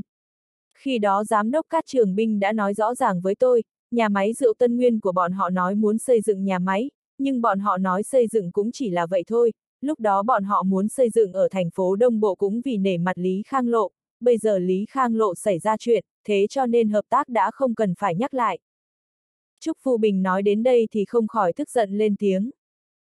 Giám đốc các trường binh của nhà máy rượu Tân Nguyên cũng không phải hạng người dễ nói chuyện, khi tôi nói muốn bàn về vấn đề hợp tác thì anh ta đã bày ra lý do còn có chuyện để đưa tôi đến phòng khách công ty ngồi chờ. Xem tại tiuinfull.vn Đưa một vị phó chủ tịch thành phố vào chờ trong phòng khách, giám đốc các trường binh kia thật sự đã đủ kiêu ngạo. Nhưng nhà máy rượu Tân Nguyên là một xí nghiệp nổi tiếng của tỉnh Sơn Nam, các trường binh là người đưa nhà máy phát triển ngày càng lớn mạnh, đã tìm được nhiều vinh dự trong tỉnh, năm ngoái đã là thường ủy của mặt trận Tổ quốc tỉnh Sơn Nam. Thành phố Đông Bộ và nhà máy rượu Tân Nguyên căn bản không có chút quan hệ lệ thuộc, hơn nữa nhà máy rượu Tân Nguyên cũng không ở trên địa bàn thành phố Đông Bộ, căn bản là không làm gì được người ta. Đặc biệt là nhà máy rượu Tân Nguyên luôn được khắp nơi chào đón, người của bọn họ đi đến đâu sẽ được hoan nghênh đến đó. Vương Tử Quân nghe Trúc Phù Bình giới thiệu về nhà máy rượu Tân Nguyên, hắn chợt cau mày. Theo lời của Trúc Phù Bình thì hạng mục này trên cơ bản đã không còn hy vọng. Bây giờ Nhâm Sương Bình giao nhiệm vụ này cho mình, còn bắt mình phải ký hợp đồng với nhà máy rượu Tân Nguyên, đây căn bản là làm khó mình. Chủ tịch Vương, tôi đã từng đến nhà máy rượu Tân Nguyên, bây giờ căn bản không thể nào tác động để nhà máy rượu Tân Nguyên xây dựng ở thành phố Đông Bộ chúng ta. Không bằng tôi cùng đi với anh đến gặp Chủ tịch Nhâm, cùng nói rõ chuyện này. Trúc Phu Bình sau khi nói rõ vài tình huống cho Vương Tử Quân thì lên tiếng nói. Vương Tử Quân gạt tàn thuốc rồi nói. Chủ tịch Trúc, anh cảm thấy chuyện này đơn giản vậy sao? Nếu như hai người chúng ta đến nói, nếu Chủ tịch Nhâm thu hồi quyết định này lại, chỉ sợ trước đó anh ấy sẽ không giao nhiệm vụ này cho tôi. Vương Tử Quân nghĩ đến điều gì thì Trúc Phu Bình cũng hiểu, Nhâm Sương Bình làm như vậy với mục đích gì thì Trúc Phu Bình cũng hiểu rõ ràng. Nhâm Sương Bình thấy Vương Tử Quân càng lúc càng quật khởi nên tiến hành chèn ép, cho giao nhiệm vụ xử lý sự việc nhà máy rượu Tân Nguyên chính là một chiêu mạnh mẽ của Nhâm Sương Bình. Tuy lực ảnh hưởng của Vương Tử Quân ở khối chính quyền thành phố đã có chút vượt qua Nhâm Sương Bình, thế nhưng Nhâm Sương Bình là lãnh đạo đứng đầu khối chính quyền thành phố Đông Bộ, vẫn có quyền lực phân phối nhiệm vụ cho Vương Tử Quân. Đó là sự khác biệt giữa lãnh đạo đứng đầu và thuộc hạ trợ thủ. Trúc Phu Bình tình nguyện cùng Vương Tử Quân đi đến báo cáo tình huống với Nhâm Sương Bình, rõ ràng đã biểu hiện thái độ của mình, chính là giúp đỡ Vương Tử Quân. Trúc Phu Bình nghe rõ lời của Vương Tử Quân và không mở miệng, hắn chỉ chậm rãi hút thuốc nhìn gương mặt Vương Tử Quân ẩn hiện trong khói thuốc. Không đợi Vương Tử Quân đi tìm Nhâm Sương Bình, Nhâm Sương Bình đã chủ động gọi điện thoại cho Vương Tử Quân đến phòng mình. Khi Vương Tử Quân đi vào phòng làm việc của Nhâm Sương Bình, lúc này Nhâm Sương Bình với gương mặt tràn đầy nụ cười, hắn cười ha hả nói với Vương Tử Quân. Chủ tịch Tử Quân, lần này xem như vất vả cho anh, anh nhất định phải nắm bắt hạng mục của nhà máy rượu Tân Nguyên. Bây giờ trong tỉnh đều có yêu cầu chỉ tiêu với các thành phố, năm nay chúng ta công tác rất tốt nhưng nếu so với các thành phố anh em chung quanh vẫn có chút tranh lệch không nhỏ, tỉnh ủy cũng hiểu tình huống của chúng ta nhưng càng như vậy thì chúng ta càng thêm áp lực. Vương Tử Quân nhìn bộ dạng nhâm xương bình giống như kẻ chỉ điểm Sơn Hà và tất cả áp lực đều ép lên người, hắn cười cười nói. Chủ tịch nhâm, áp lực của thành phố là rất lớn, điều này tôi hiểu, tôi sẽ cố gắng hết sức, nhất định sẽ kéo nhà máy rượu Tân Nguyên ở lại thành phố Đông Bộ. Nhâm Sương Bình không thích nói chuyện với Vương Tử Quân, thế nhưng lúc này phải cố gắng gượng. Chủ tịch Tử Quân, chúng ta phải làm hết sức, phải để nhà máy rượu Tân Nguyên đầu tư vào thành phố Đông Bộ. Hôm trước lãnh đạo tỉnh đã cho ra các hạng mục giám sát trọng điểm, hạng mục của nhà máy rượu Tân Nguyên chính là một trong những hạng mục trọng điểm của thành phố Đông Bộ chúng ta. Nhâm Sương Bình đặt một phần văn kiện đến trước mặt Vương Tử Quân rồi nói tiếp. Thành phố chúng ta đã có cơ sở với hạng mục này, tôi nhớ khi đó giám đốc cát đến thành phố Đông Bộ đã có ý đẩy mạnh hợp tác, bây giờ điều anh cần làm là đẩy mạnh liên hệ, xúc tiến nhanh chóng khởi công nhà máy. Vương Tử Quân tiếp nhận văn kiện các hạng mục giám sát trọng điểm của tỉnh ủy, hắn lật qua vài trang và tìm được danh sách hạng mục của thành phố Đông Bộ. chương 475, nhỏ không nhịn sẽ loạn mưu lớn. Mối quan hệ giữa các vị lãnh đạo trong một ban ngành là rất đặc biệt. Quan hệ giữa hai bên có đôi khi giống như một con thuyền, cần đồng tâm hiệp lực, cần phối hợp với nhau, cùng nhau yểm hộ, lại có đôi khi giống như xe, tuy lớp vỏ bên ngoài rất đẹp đẽ tươi mới nhưng động cơ bên trong lại rắc rối phức tạp, và đập vào nhau chan chát. Nhưng căn cứ vào quy củ chuyện xấu bên trong không nên nói ra ngoài, thế nên tất cả đều cố gắng nhẫn nại, biểu hiện thật sự hòa hợp êm ấm. Trong phòng làm việc của Nhâm Sương Bình, Vương Tử Quân và Nhâm Sương Bình ngồi đối diện với nhau. Nhâm Sương Bình dù mỉm cười nhưng Vương Tử Quân lại thấy gương mặt đối phương quá nhạt nhẽo, giống như anh em cùng cha khác mẹ vậy. Hạng mục trọng điểm chính là tự tay các thành phố báo cáo cho lãnh đạo tỉnh, không ngờ hạng mục nhà máy rượu Tân Nguyên căn bản không thể nào hoàn thành lại có tên trong danh sách hạng mục trọng điểm, nếu như không có sự gật đầu của Nhâm Sương Bình là căn bản khó thể nào thông qua được. Nhưng Vương Tử Quân tuy hiểu cũng không muốn đối thoại gay gắt với Nhâm Sương Bình, coi như mình và Nhâm Sương Bình ồn ào một trận cũng không có kết quả gì. Mười phút sau Nhâm Sương Bình nhìn Vương Tử Quân đi ra khỏi phòng mình với nụ cười tủm tỉm, hắn không khói nở nụ cười lạnh. Tuy Vương Tử Quân không ít lần cho hắn ăn quả đắng nhưng vị trí của hắn là thứ mà Vương Tử Quân không thể so sánh được. Tất cả đàn ông trở thành lãnh đạo đều rất giống nhau, bọn họ thật sự thích thao túng người khác, tất nhiên Nhâm Sương Bình cũng không phải ngoại lệ. Nhâm Sương Bình bỏ phần văn kiện vừa đưa cho Vương Tử Quân xem xét vào trong cặp, hắn nhấc điện thoại gọi cho nhân viên thư ký của mình. Nửa phút sau Nhâm Sương Bình nở nụ cười nói vào trong điện thoại. Chào Giám đốc Cát, tôi là Nhâm Sương Bình của thành phố Đông Bộ. Nhà máy rượu Tân Nguyên chỉ là tên gọi thường, nó còn được gọi là tập đoàn Tân Nguyên. Vương Tử Quân đứng trước cánh cổng lớn đầy khí phách của tập đoàn Tân Nguyên, hắn nhìn năm chữ nhà máy rượu Tân Nguyên được viết khá lớn trên cổng, thế là không khỏi đánh giá nhà máy này lên vài phần. Nhà máy rượu Tân Nguyên có thể cạnh tranh trong ngành sản xuất rượu cực kỳ tàn khốc, ngoài chất lượng rượu thì quan trọng bọn họ phải có lý niệm kinh doanh thật tốt. Trước khi tìm đến nhà máy rượu Tân Nguyên thì hắn đã tìm hiểu nhiều thông tin, hắn biết giám đốc các trường binh của nhà máy rượu Tân Nguyên là một người thật sự không thể nào coi thường, là một người cực kỳ giỏi và có năng lực. Cũng vì một người như vậy mà một nhà máy rượu quốc doanh gần như sắp đóng cửa lại có thể phát triển và đi đến thời điểm bây giờ. Lúc này có thể để cho nhà máy rượu Tân Nguyên xây dựng công trình ở thành phố Đông Bộ, chủ yếu cần phải nhìn vào ý kiến của giám đốc các trường binh. Nếu các trường binh đồng ý thì tất cả xem như dễ nói, nếu giám đốc các cực lực phản đối, như vậy xem như không còn cách nào khác. Đồng chí, xin hỏi anh tìm ai? Khi xe của Vương Tử Quân chạy đến cổng nhà máy rượu Tân Nguyên, một tên bảo vệ hơn 40 chạy đến dùng giọng trịnh trọng hỏi. Lý Cẩm Hồ từ trong xe đi ra nói. Chúng tôi là người của khối chính quyền thành phố Đông Bộ, đã có hẹn trước với giám đốc cát của các anh. Đã có hẹn trước, sao tôi không nhận được thông báo từ phòng làm việc của giám đốc? Tên bảo vệ dùng giọng đầy nghi ngờ nói một câu rồi tiếp tục. Các vị chờ chút, tôi đi liên lạc với văn phòng cái đã. Lý Cẩm Hồ nghe thấy tên bảo vệ nói như vậy thì vẻ mặt có chút bức bối, dù đây không phải là thành phố Đông Bộ, thế nhưng bọn họ người ta chặn xe ngoài cửa, đồng thời vấn đề chính là trên xe còn có chủ tịch vương. Đúng lúc hắn định vung tay gọi tên bảo vệ thì vương tử quân đã khoát tay nói. Không có quy củ sẽ khó phát triển, cứ để người ta liên lạc hỏi han cái đã.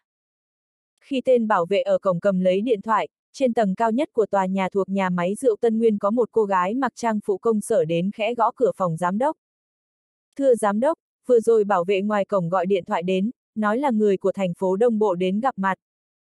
Giọng nói của cô gái rất dịu dàng dễ nghe, có lẽ chỉ là người Giang Nam mới có chất giọng mượt mà như vậy. Trong một gian phòng rộng hơn trăm mét vuông, một người đàn ông hơn 40 đang ngồi sau bàn làm việc xem xét văn kiện. Thứ hấp dẫn ánh mắt người khác nhất trong văn phòng cũng không phải là bàn làm việc rất lớn, chính là một tấm ảnh lớn. Trong tấm ảnh chính là Tổng Giám đốc Tập đoàn Tân Nguyên đang bắt tay cực kỳ nhiệt tình với bí thư tiền nhiệm của tỉnh ủy Sơn Nam Dương Độ Lục. Khối chính quyền thành phố Đông Bộ. Người đàn ông nghe thấy những chữ này thì chợt nhớ đến cái gì đó, hắn nhanh tay lật qua lật lại văn kiện trước mặt, sau đó giống như nhớ ra điều gì nói. Nói với bọn họ hôm nay tôi bận, để bọn họ ngày mai hãy đến. Vâng. Dù biết rõ hành trình của lãnh đạo nhưng cô thư ký đã quen thuộc phong cách làm việc của các trường binh, tất nhiên nàng sẽ không nói thêm dù chỉ một lời, nàng khẽ cười với các trường binh, sau đó xoay người đi ra khỏi phòng. Các trường binh không quan tâm đến cô gái bỏ đi, hắn tiếp tục nhìn lên văn kiện trước mắt, bộ dạng rất say sưa. Anh nói gì, hôm nay giám đốc đã đi rồi sao? Nhưng anh ta hẹn gặp mặt chúng tôi vào hôm nay. Lý Cẩm Hồ nghe thấy tên bảo vệ nói thì có chút tức giận. Lần này người phụ trách liên lạc với phía nhà máy rượu Tân Nguyên chính là Lý Cẩm Hồ, trước đó đã nói rõ 9 giờ gặp mặt giám đốc các trường binh. Vì thế vì đến kịp giờ, 6 giờ sáng bọn họ đã phải xuất phát từ thành phố Đông Bộ trạ đến nhà máy rượu Tân Nguyên, nhưng bây giờ đi đến nhà máy thì các trường binh lại đi mất rồi. Điều làm cho Lý Cẩm Hồ cảm thấy tức giận chính là chúng tôi đến từ phương xa, giám đốc các trường binh kia lại đi ra ngoài, nhà máy có nhiều người nhưng cũng không ai muốn tiếp đãi. Bây giờ đối phương dùng giọng đông cứng nói các trường binh không có ở công ty, đây căn bản là xem thường và đùa giỡn bọn họ. Giám đốc của chúng tôi không có mặt ở đây. Tên bảo vệ nhìn vẻ mặt tức giận của Lý Cẩm Hồ, lại thấy đối phương cứ đứng yên tại chỗ mà không bỏ đi, thế là tiếp tục nhắc lại một câu. Câu nói đã quá rõ ràng, giám đốc chúng tôi không có mặt ở đây, vì thế tốt nhất là các anh nên đi thôi. Cẩm Hồ, lên xe. Vương Tử Quân ngồi trong xe nghe thấy rất rõ ràng, hắn thật sự có chút bức bối vì bộ dạng kiêu ngạo của đám người nhà máy rượu Tân Nguyên. Dù bức bối nhưng hắn đến để hợp tác, nếu náo loạn thì cũng không có gì là tốt với mình. Lý Cẩm Hồ nghe được lời phân phó của Vương Tử Quân, hắn biết rõ lúc này mình dù có tranh chấp với tên bảo vệ cũng không có ích gì, vì thế trầm giọng nói với Vương Tử Quân. Chủ tịch Vương, đám người nhà máy rượu Tân Nguyên thật sự quá phận, tôi sẽ liên lạc với bọn họ. Lý Cẩm Hồ nhanh chóng gọi điện thoại, hắn nói vài câu với đối phương rồi cúp điện thoại.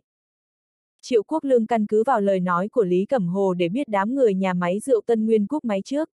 Lý Cẩm Hồ là phó thư ký trưởng của khối chính quyền thành phố Đông Bộ, là cán bộ có năng lực được Vương Tử Quân đề bạt, trong thành phố Đông Bộ căn bản không có mấy người dám cúp điện thoại của hắn. Không ngờ bây giờ một tên trợ lý của nhà máy rượu Tân Nguyên dưới tình huống thất lễ lại cắt đứt điện thoại của Lý Cẩm Hồ, Triệu Quốc Lương nhìn vào tình huống này mà cảm thấy chuyến đi của Chủ tịch Vương căn bản không được phía nhà máy rượu Tân Nguyên coi ra gì. Chủ tịch Vương, vì trợ lý Trần kia nói sáng mai giám đốc của bọn họ có 20 phút, yêu cầu chúng ta đến đúng giờ. Lý Cẩm Hồ đặt điện thoại xuống rồi trầm giọng nói với Vương Tử Quân. Vương Tử Quân khẽ gật đầu với Lý Cẩm Hồ rồi nói. Nếu là như vậy thì chúng ta tìm chỗ nào đó nghỉ lại, ngày mai đi gặp vị giám đốc kia. Nhìn bề ngoài thì Vương Tử Quân biểu hiện cực kỳ bình tĩnh, thế nhưng thực tế thì hắn lại rất nén giận.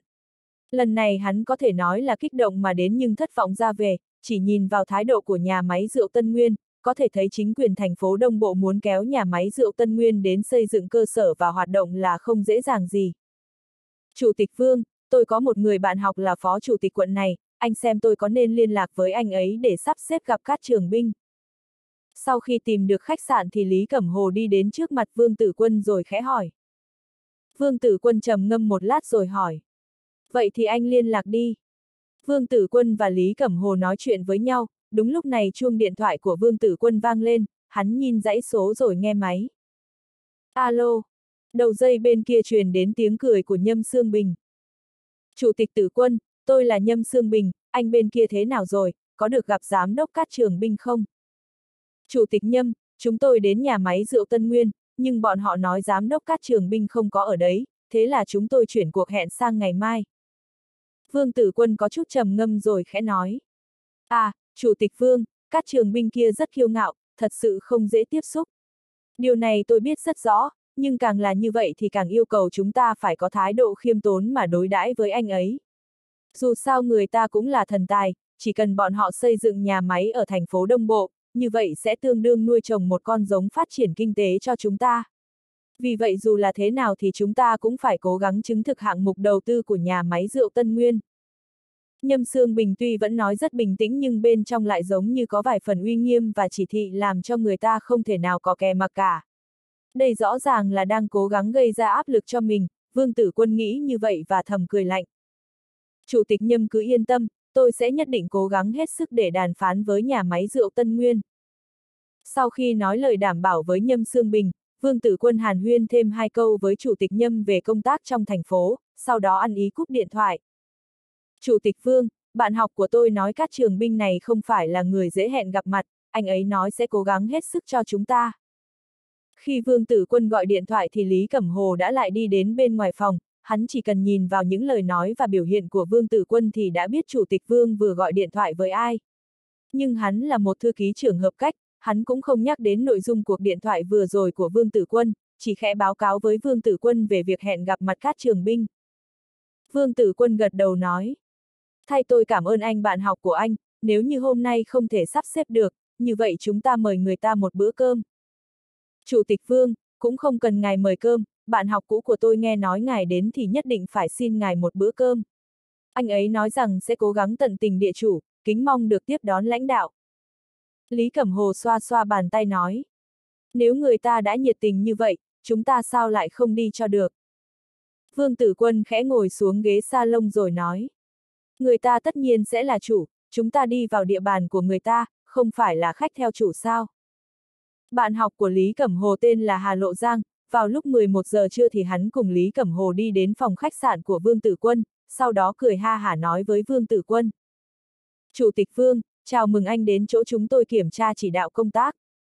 Hà Lộ Giang này có độ tuổi tương đồng với Lý Cẩm Hồ, dáng người không quá cao nhưng hai mắt đầy linh hoạt lại làm cho người ta sinh ra cảm giác cực kỳ lanh lẹ thông minh tháo vát. Sau khi Hà Lộ Giang đi vào cửa thì Vương Tử Quân đứng lên nói. Cũng không thể nói là kiểm tra chỉ đạo công tác, nếu không thì chủ tịch đông nhiễm của các anh sẽ nổi giận. Khi gặp mặt Vương Tử Quân thì Hà Lộ Giang thật sự kinh hoàng, hắn tuy đã từng nghe nói đến cái tên Vương Tử Quân, thế nhưng hắn cũng không ngờ Phó Chủ tịch Thường vụ thành phố Đông Bộ lại trẻ tuổi như vậy. Khi Vương Tử Quân nhắc đến Chủ tịch Đông Nhiễm thì chút trần trừ trong lòng hắn đã tan thành mây khói. Tuy Vương Tử Quân thật sự quá trẻ so với sức tưởng tượng của Hà Lộ Giang, thế nhưng dù Vương Tử Quân có trẻ như thế nào cũng không thể cải biến được sự thật, đây chính là Phó Chủ tịch Thường vụ của thành phố Đông Bộ. Chủ tịch Vương, tôi là bạn học cùng thời đại học của Lý Cẩm Hồ, khi đó hai người chúng tôi ở bên nhau còn lâu hơn cả anh ấy ở cùng với vợ. Anh ấy là phó thư ký trưởng của anh ở thành phố Đông Bộ, bây giờ đến đây cũng mong anh vung tay cho tôi làm phó thư ký trưởng, để cho tôi nếm thử chút hương vị làm thư ký trưởng là như thế nào. Hà Lộ Giang là người giỏi ăn nói, chỉ nói vài ba câu đã làm tốt công tác kéo gần quan hệ với người đối diện. Vương Tử Quân vừa nói chuyện với Hà Lộ Giang vừa thầm quan sát Lý Cẩm Hồ, phát hiện Hà Lộ Giang tuy thật sự có vài điểm láo cá, thế nhưng cũng có nhiều phương diện phù hợp với tính cách của mình. Chủ tịch Vương, tôi hiểu mục đích của ngài khi tìm đến nhà máy rượu Tân Nguyên, nhưng chuyện này thật sự không dễ làm.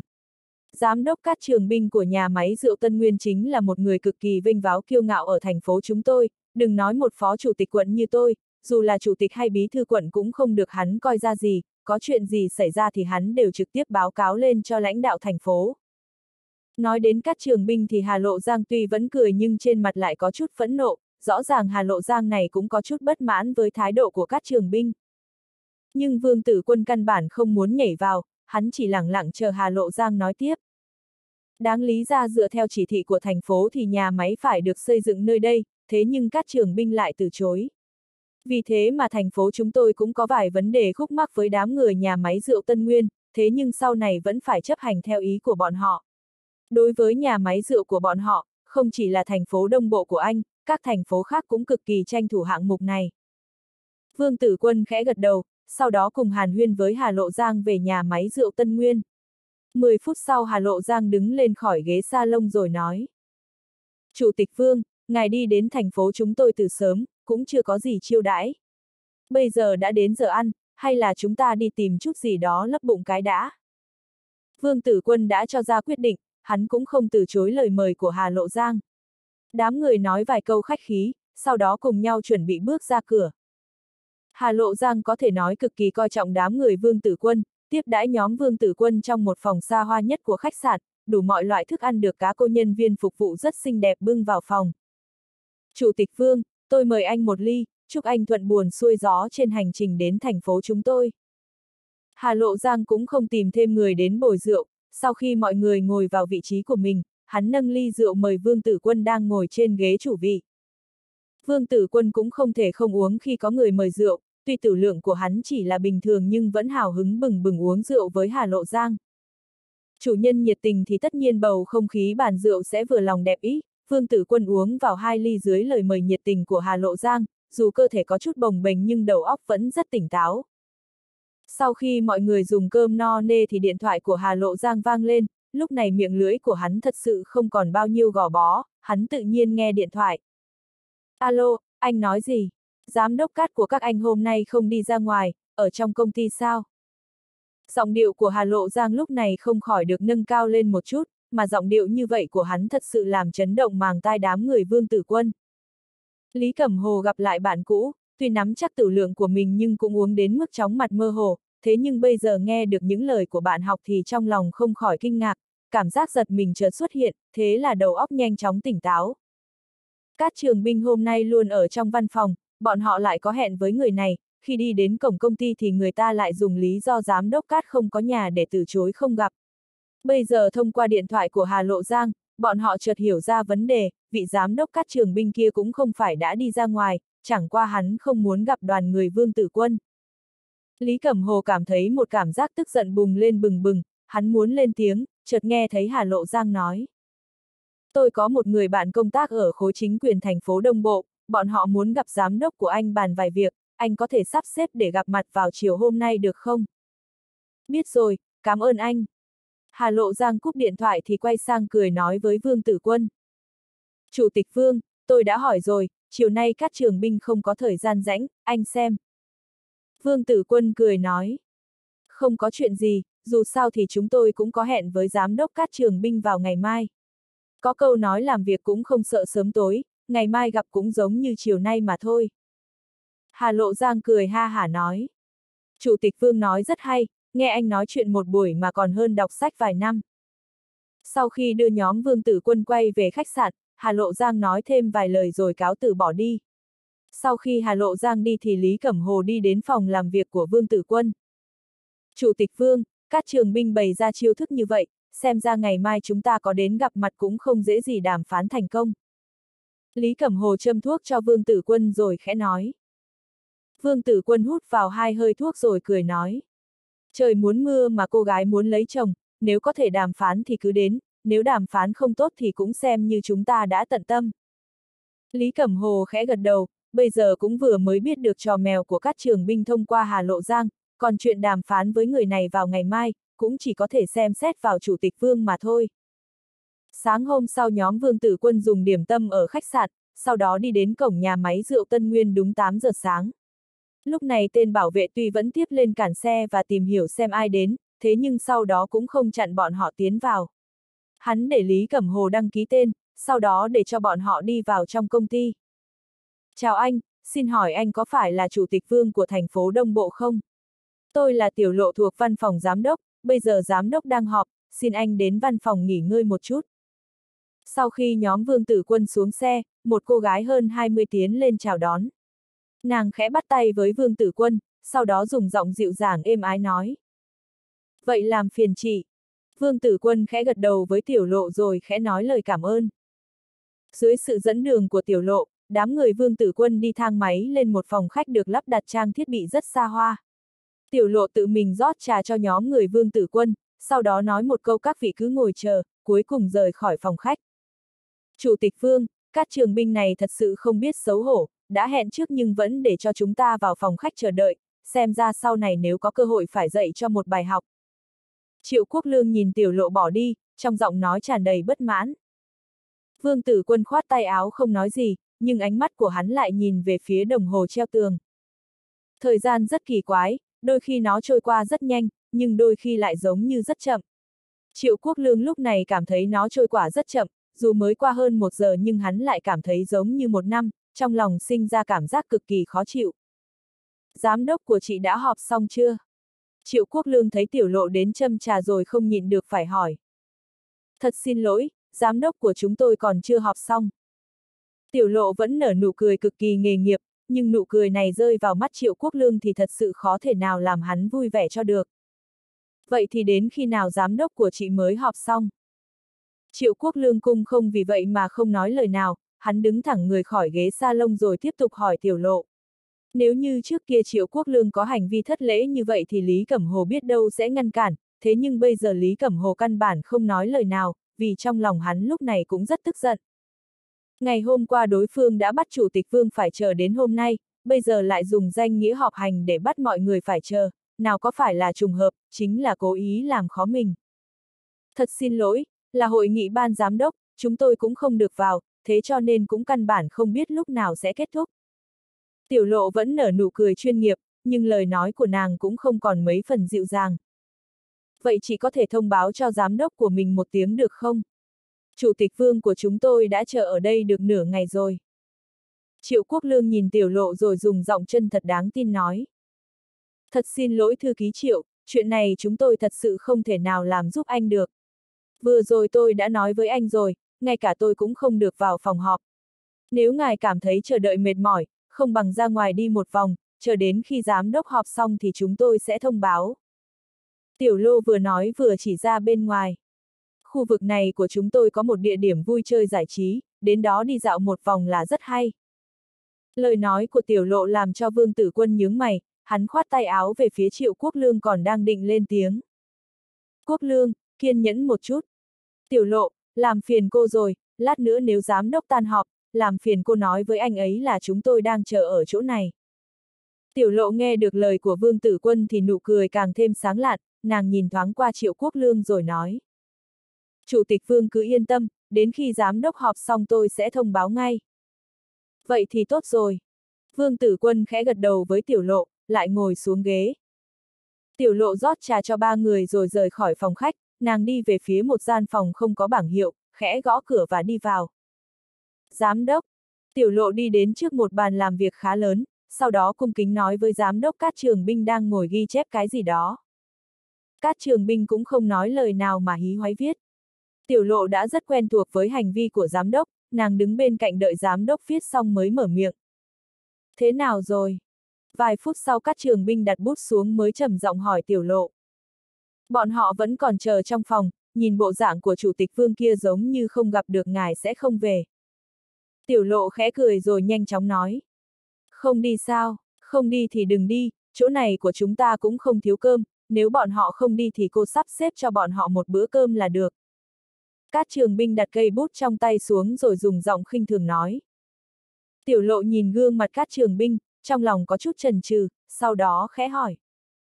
Giám đốc, chủ tịch phương này tuy chỉ là cấp phó trong thành phố, nhưng anh ta dù sao cũng là phó chủ tịch thường vụ, anh xem có nên sắp xếp thời gian gặp mặt anh ta không? Không cần. Các trường binh nhìn thoáng qua tiểu lộ rồi nói. Phó chủ tịch thì sao? Không phải những ngày qua cô luôn gặp các vị chủ tịch à? Bọn họ đến chỗ này của chúng ta, có ai không muốn kéo chúng ta đến đầu tư ở vùng đất của mình? Các trường binh phất tay dùng giọng đắc y nói. Giám đốc, ngài còn gì cần phân phó không? Tiểu lộ có thể công tác trong văn phòng của giám đốc, tất nhiên nàng sẽ là người thông minh. Bây giờ các trường binh đã hạ quyết tâm, tất nhiên nàng sẽ không ngốc mà tiếp tục khuyên can, dù sao thì vương tử quân kia cũng không có quan hệ gì với nàng. Không có gì, cô cứ xử lý việc của mình là được, nhớ kỹ, đến lúc dùng cơm thì phải mời bọn họ, dùng tiêu chuẩn của công ty chúng ta để tiếp đãi cho tốt. Các trường binh trầm ngâm một chút rồi khẽ nói. Tiêu chuẩn của công ty.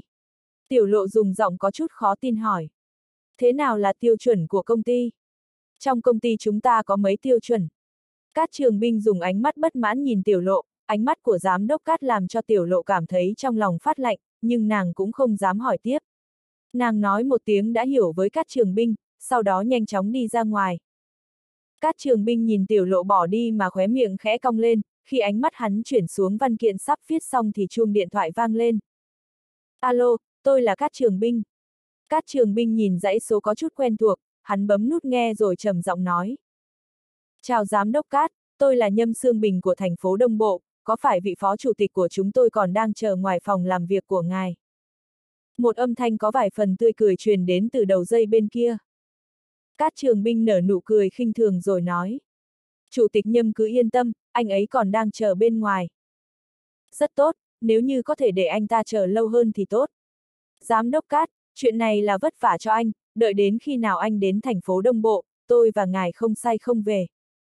Nhâm Sương Bình dùng giọng nhiệt tình bình dị và cực kỳ gần gũi nói vào trong điện thoại, nếu lời nói này của hắn để cho người quen nghe thấy được, cũng không biết có bao nhiêu người hoài nghi đây là giọng nói của ai.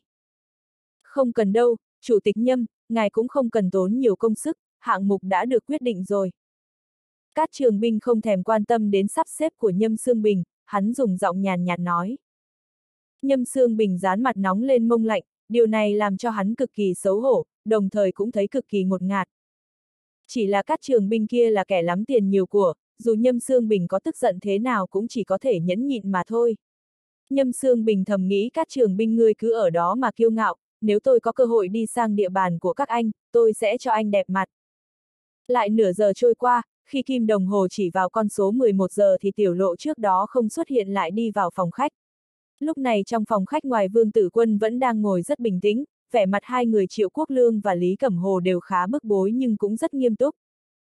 Khi thấy tiểu lộ đi đến thì Triệu Quốc Lương đứng lên ghế sa lông hỏi. Chủ nhiệm Lô, có phải hội nghị ban giám đốc đã xong rồi không? Thật xin lỗi Chủ tịch Vương, ban giám đốc còn đang họp, theo tôi thấy thì hội nghị này không biết đến khi nào mới chấm dứt. Bây giờ đã đến giờ cơm trưa, cũng không biết các ngài có đói bụng không, nếu đói thì chúng ta đến nhà ăn dùng cơm rồi nói sau. Tiểu lộ cung không phải trả lời câu hỏi của Triệu Quốc Lương, nàng nhìn thoáng qua Vương Tử Quân, sau đó trầm giọng hỏi. Vương Tử Quân khoát tay áo nói. Nếu công ty các cô đang họp ban giám đốc thì chúng tôi sẽ chờ thêm một chút nữa. Đúng rồi, có phải tất cả các vị giám đốc đều đến tham gia họp không? Đúng vậy, không những người của ban giám đốc đều tham gia, thậm chí tất cả quản lý của đơn vị cũng đến trình diện. Tiểu lộ không biết Phương Tử Quân hỏi vậy là có ý gì, nhưng nàng cảm thấy điều này không là gì bí mật nên trực tiếp trả lời.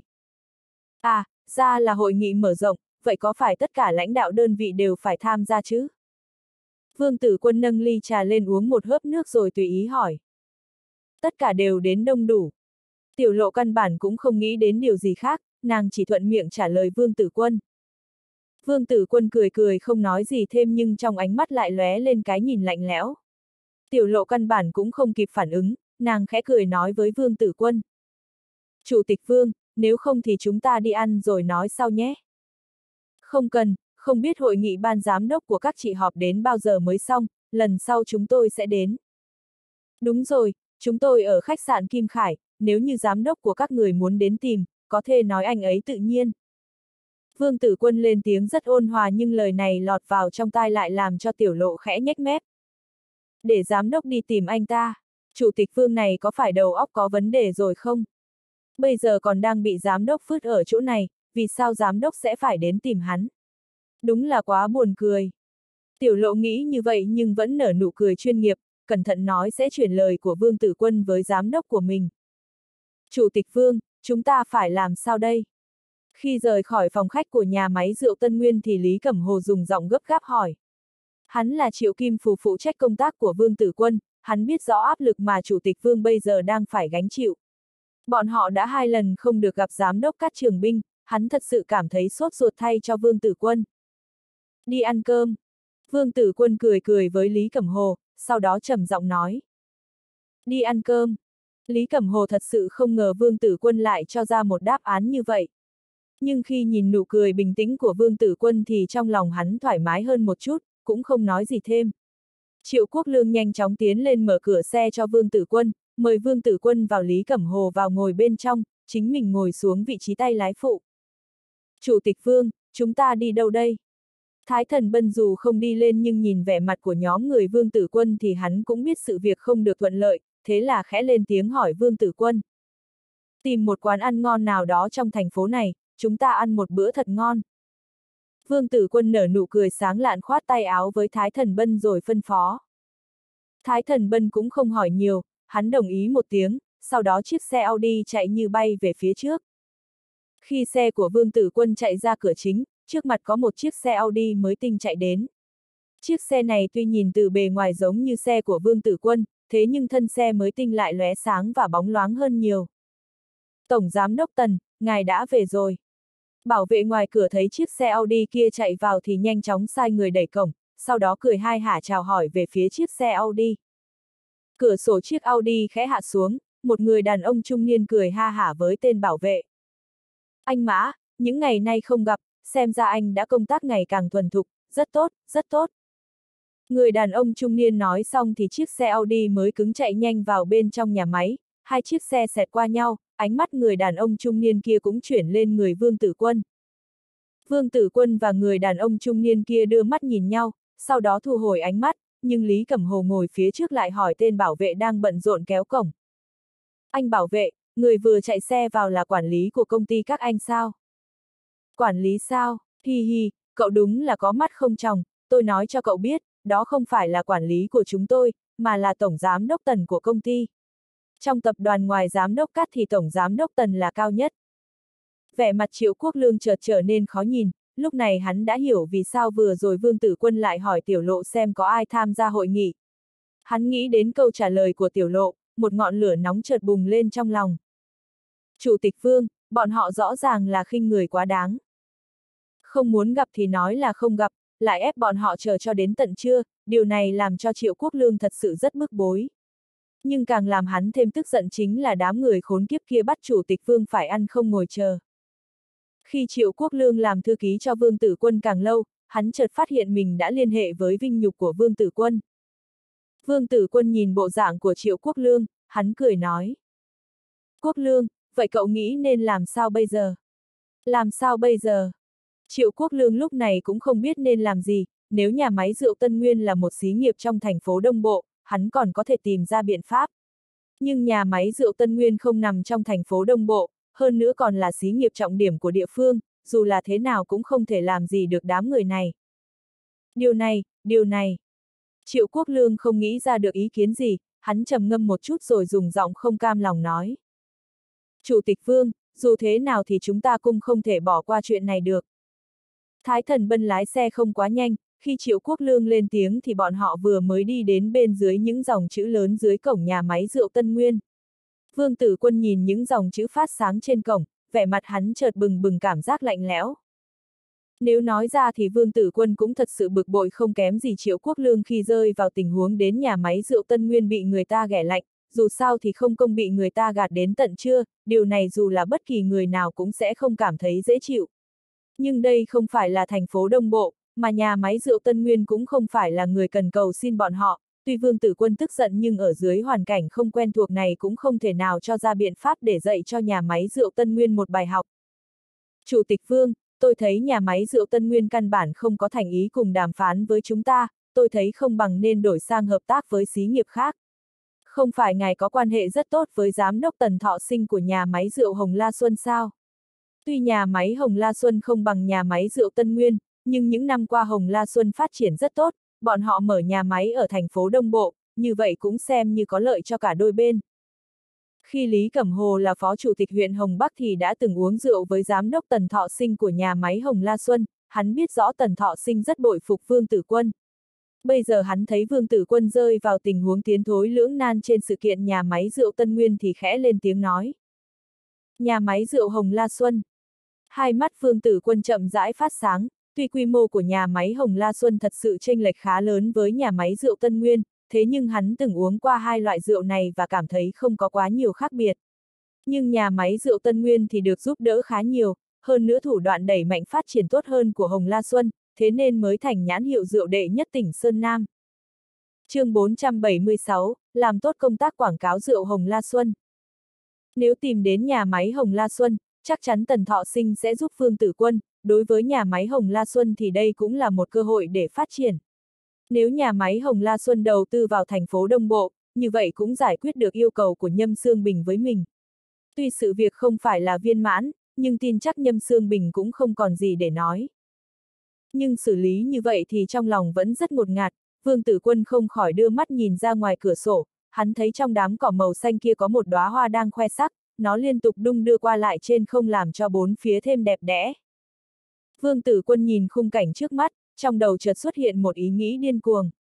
Hắn lại nhìn sang biển quảng cáo về rượu Tân Nguyên cách đó không xa, khóe miệng hắn lộ ra nụ cười lạnh, thầm nghĩ. Nhãn hiệu rượu số một tỉnh Sơn Nam còn chưa biết rơi vào trong tay ai. Khi ý nghĩ của Vương Tử Quân ngày càng thêm rõ ràng thì một kế hoạch dần được thành hình trong lòng. Sau khi đánh giá khả năng thực hiện kế hoạch này, Vương Tử Quân nói với Lý Cẩm Hồ ngồi cách mình không quá xa. Cẩm Hồ, chúng ta không nên ở lại đây, để cho Thái Thần Bân nghỉ ngơi một chút, lát nữa chúng ta cùng đến thành phố Hồng Ngọc. Đến thành phố Hồng Ngọc, sắp xếp của Vương Tử Quân cũng không vượt ra ngoài dự đoán của Lý Cẩm Hồ, hắn nhìn về phía Thái Thần Bân rồi cười nói. Thần Bân, với khả năng quen thuộc đường của cậu thì chạy đoạn đường như thế cũng không là vấn đề, nhưng tôi cũng yêu cầu cậu chạy chậm một chút, để Chủ tịch Vương có thể được thưởng lãm những khung cảnh tuyệt đẹp ven đường. Thái thần Bân đồng ý một tiếng rồi dẫm chân ga, xe tăng tốc, vài phút sau xe đã nhanh chóng chạy về phía thành phố Hồng Ngọc. Chạy từ thành phố Đông Bộ đến thành phố Hồng Ngọc cũng chỉ mất hơn trăm km mà thôi, may mà trên đường cũng không kẹt xe, thế cho nên khi tắt nắng thì nhóm người Vương Tử Quân đã đi đến nhà máy rượu Hồng La Xuân. Nhưng Vương Tử Quân cũng không nhanh chóng đi tìm Tần Thọ Sinh, hắn vào đăng ký phòng trong một khách sạn gần đó. Sau khi rửa mặt làm vệ sinh thân thể thì Vương Tử Quân gọi điện thoại cho Tần Thọ Sinh. Lúc này Tần Thọ Sinh tỏ ra cực kỳ nhiệt tình, đặc biệt là nghe nói Vương Tử Quân đến thành phố Hồng Ngọc thì càng tỏ ra vui mừng.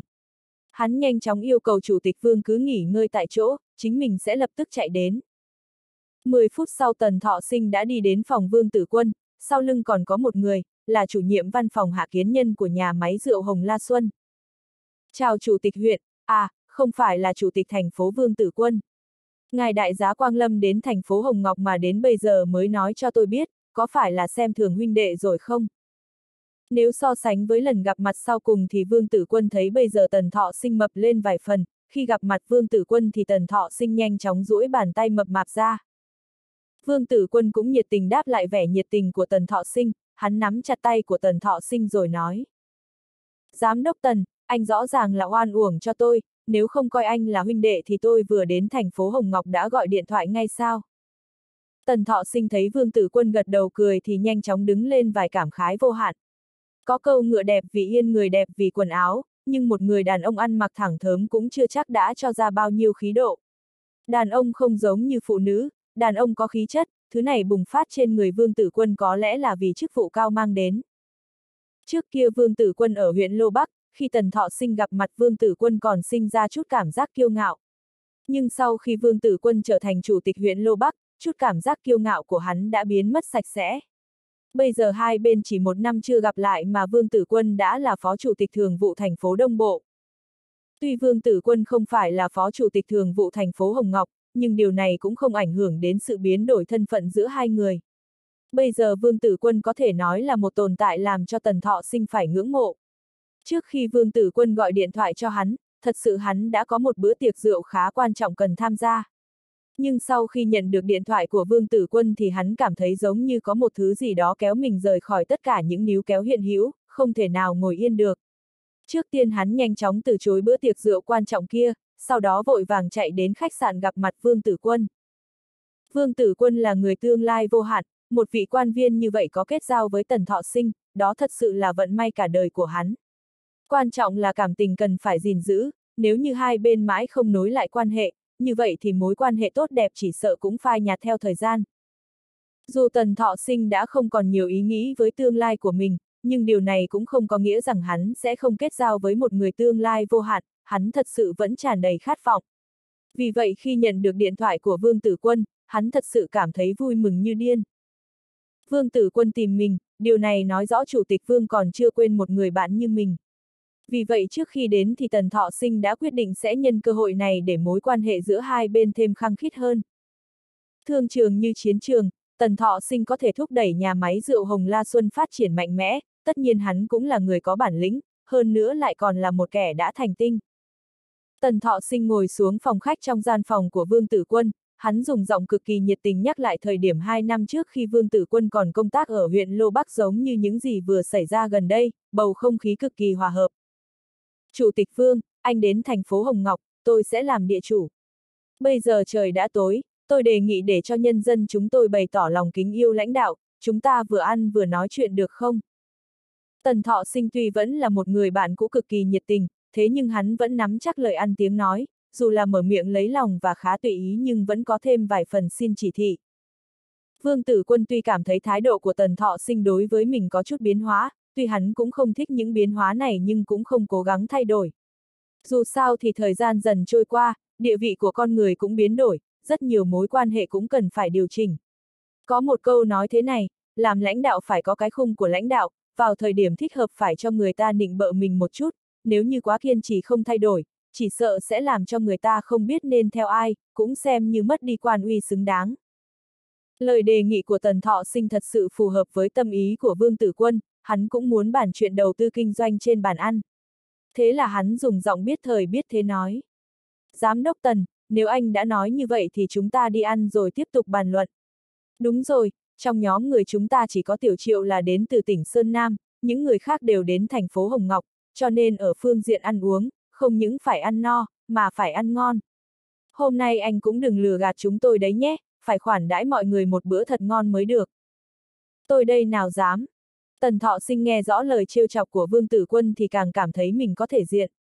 Hắn lên tiếng nói vài lời đùa giỡn với Vương Tử Quân, sau đó đoàn người rời khỏi khách sạn. Tần Thọ Sinh sắp xếp một quán cơm tương giang, nơi đây lắp đặt thiết bị rất xa hoa, khi đoàn người đi đến quán cơm, bà chủ quán đã đứng chờ sẵn ngoài cửa.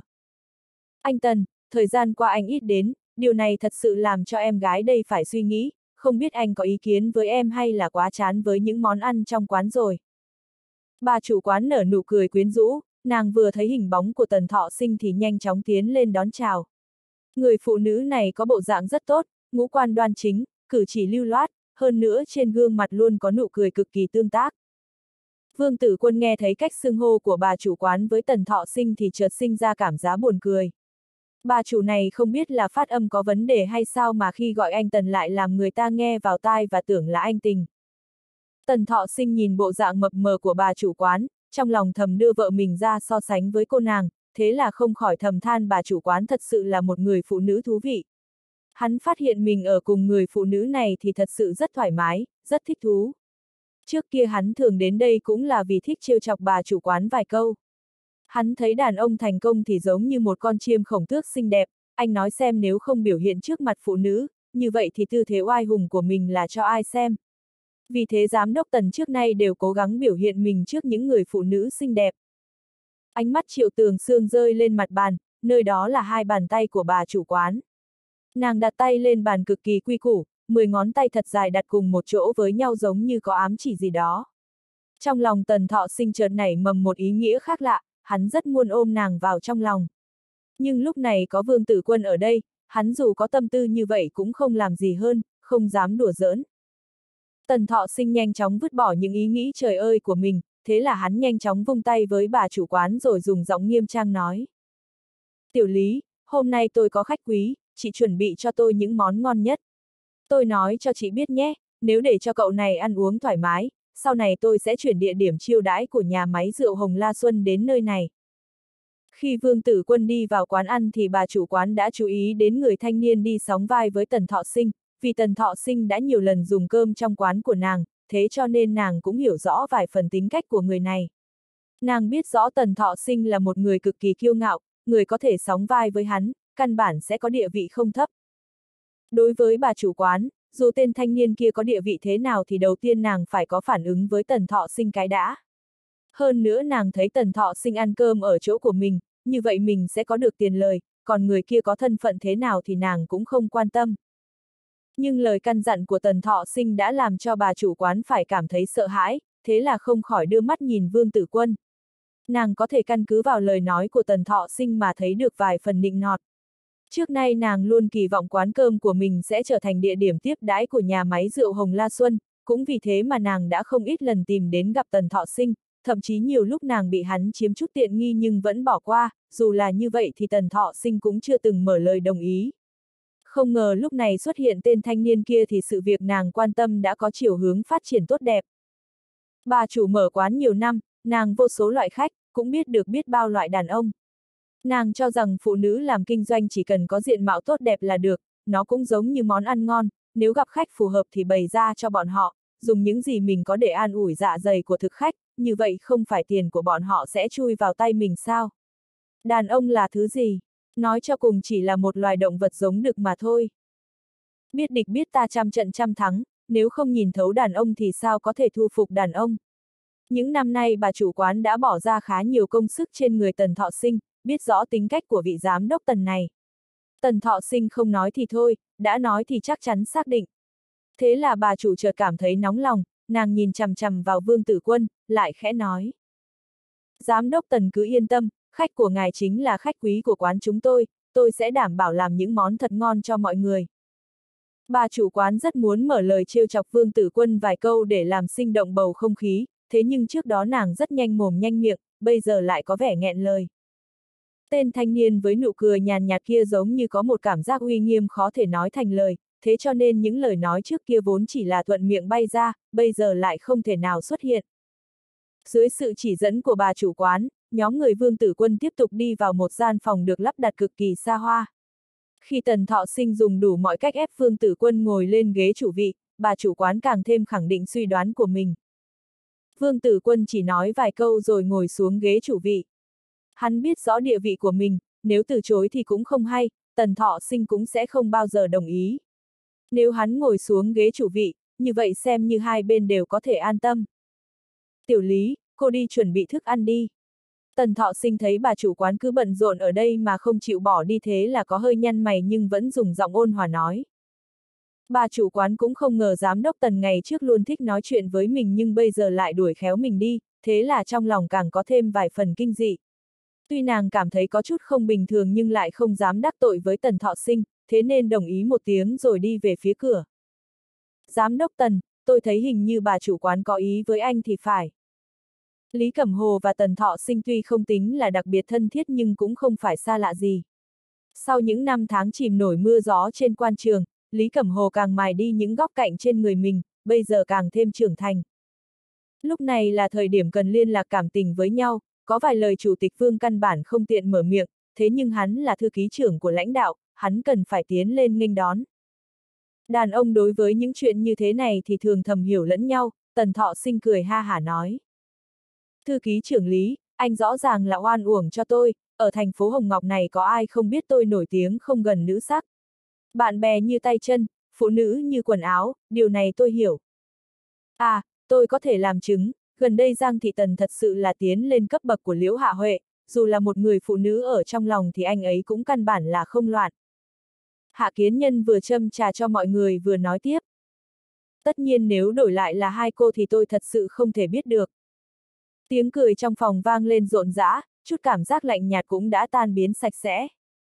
Thức ăn được đưa lên rất nhanh, chỉ hơn 10 phút sau đã có 10 món được dọn lên bàn. Vài chai rượu hồng la xuân được khui, trận chiến trên bàn tiệc nhanh chóng nổ ra. Chủ tịch Vương, tôi mời anh một ly.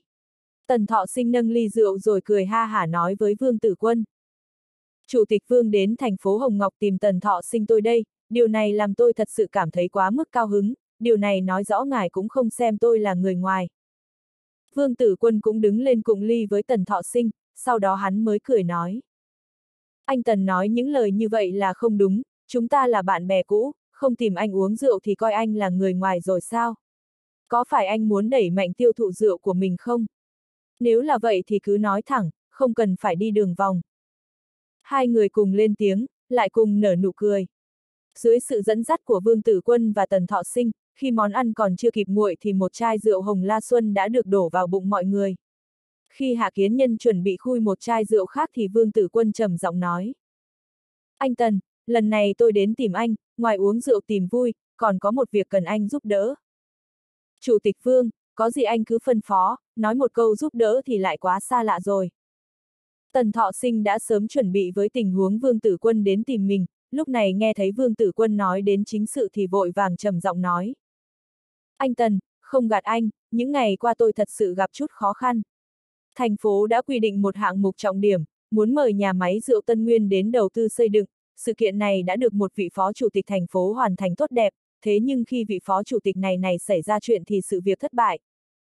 Bây giờ hạng mục rơi lên người tôi, tôi đã đến nhà máy rượu Tân Nguyên nhưng phát hiện bọn họ căn bản không có ý hợp tác. Vì vậy mà tôi nhớ đến anh, hy vọng có thể cùng hợp tác với anh. Vương Tử Quân cũng không che giấu ý nghĩ của mình, hắn dùng giọng gọn gàng dứt khoát nói rõ vấn đề cho Tần Thọ Sinh. Tần Thọ Sinh nghe Vương Tử Quân mời nhà máy rượu Hồng La Xuân của mình đến đầu tư ở thành phố Đông Bộ thì vẻ mặt dần trở nên ngưng trọng. Xây dựng nhà máy ở một thành phố khác cũng không phải chuyện nhỏ, tuy hắn là người nhất ngôn cửu đỉnh trong công ty, thế nhưng sự việc thế này cũng không phải một mình hắn cho ra quyết định được. Hơn nữa vừa rồi Vương Tử Quân nhắc đến nhà máy rượu Tân Nguyên, nếu nhà máy rượu Hồng La Xuân và nhà máy rượu Tân Nguyên cạnh tranh với nhau ở thành phố Đông Bộ, cũng không biết kết quả là như thế nào. Vương Tử Quân cũng đã sớm dự đoán phản ứng của Tần Thọ Sinh, hắn cười cười nói với Tần Thọ Sinh. Anh Tần, tôi biết rõ đây không phải là chuyện nhỏ, anh cứ cẩn thận suy xét. Tôi cũng không muốn làm khó anh, anh cứ nghĩ kỹ rồi nói với tôi một tiếng, bây giờ chúng ta tiếp tục uống rượu. Tần Thọ Sinh cố gắng chấn định uống thêm một ly rượu với Vương Tử Quân, sau đó hắn dùng giọng có chút chua xót nói. Chủ tịch Vương, không phải là tôi không muốn sắp xếp giải hạn cho anh, thế nhưng sự kiện Hồng La Xuân tiến vào thành phố Đông Bộ thì tôi thật sự không nắm chắc. Dù sao thì nhà máy rượu Tân Nguyên đã phát triển một mình ở tỉnh Sơn Nam, nếu chúng tôi chen chân vào tranh giành định mức thị trường với bọn họ, sẽ không phải là chuyện dễ dàng. Anh Tần, anh đã uống rượu của nhà máy rượu Tân Nguyên chưa? Phản ứng của Tần Thọ Sinh cũng nằm trong dự đoán của Vương Tử Quân, hắn không những tức giận với phản ứng của đối phương, hơn nữa trong lòng còn sinh ra cảm giác vui mừng. Tại sao lại chưa từng uống qua chứ?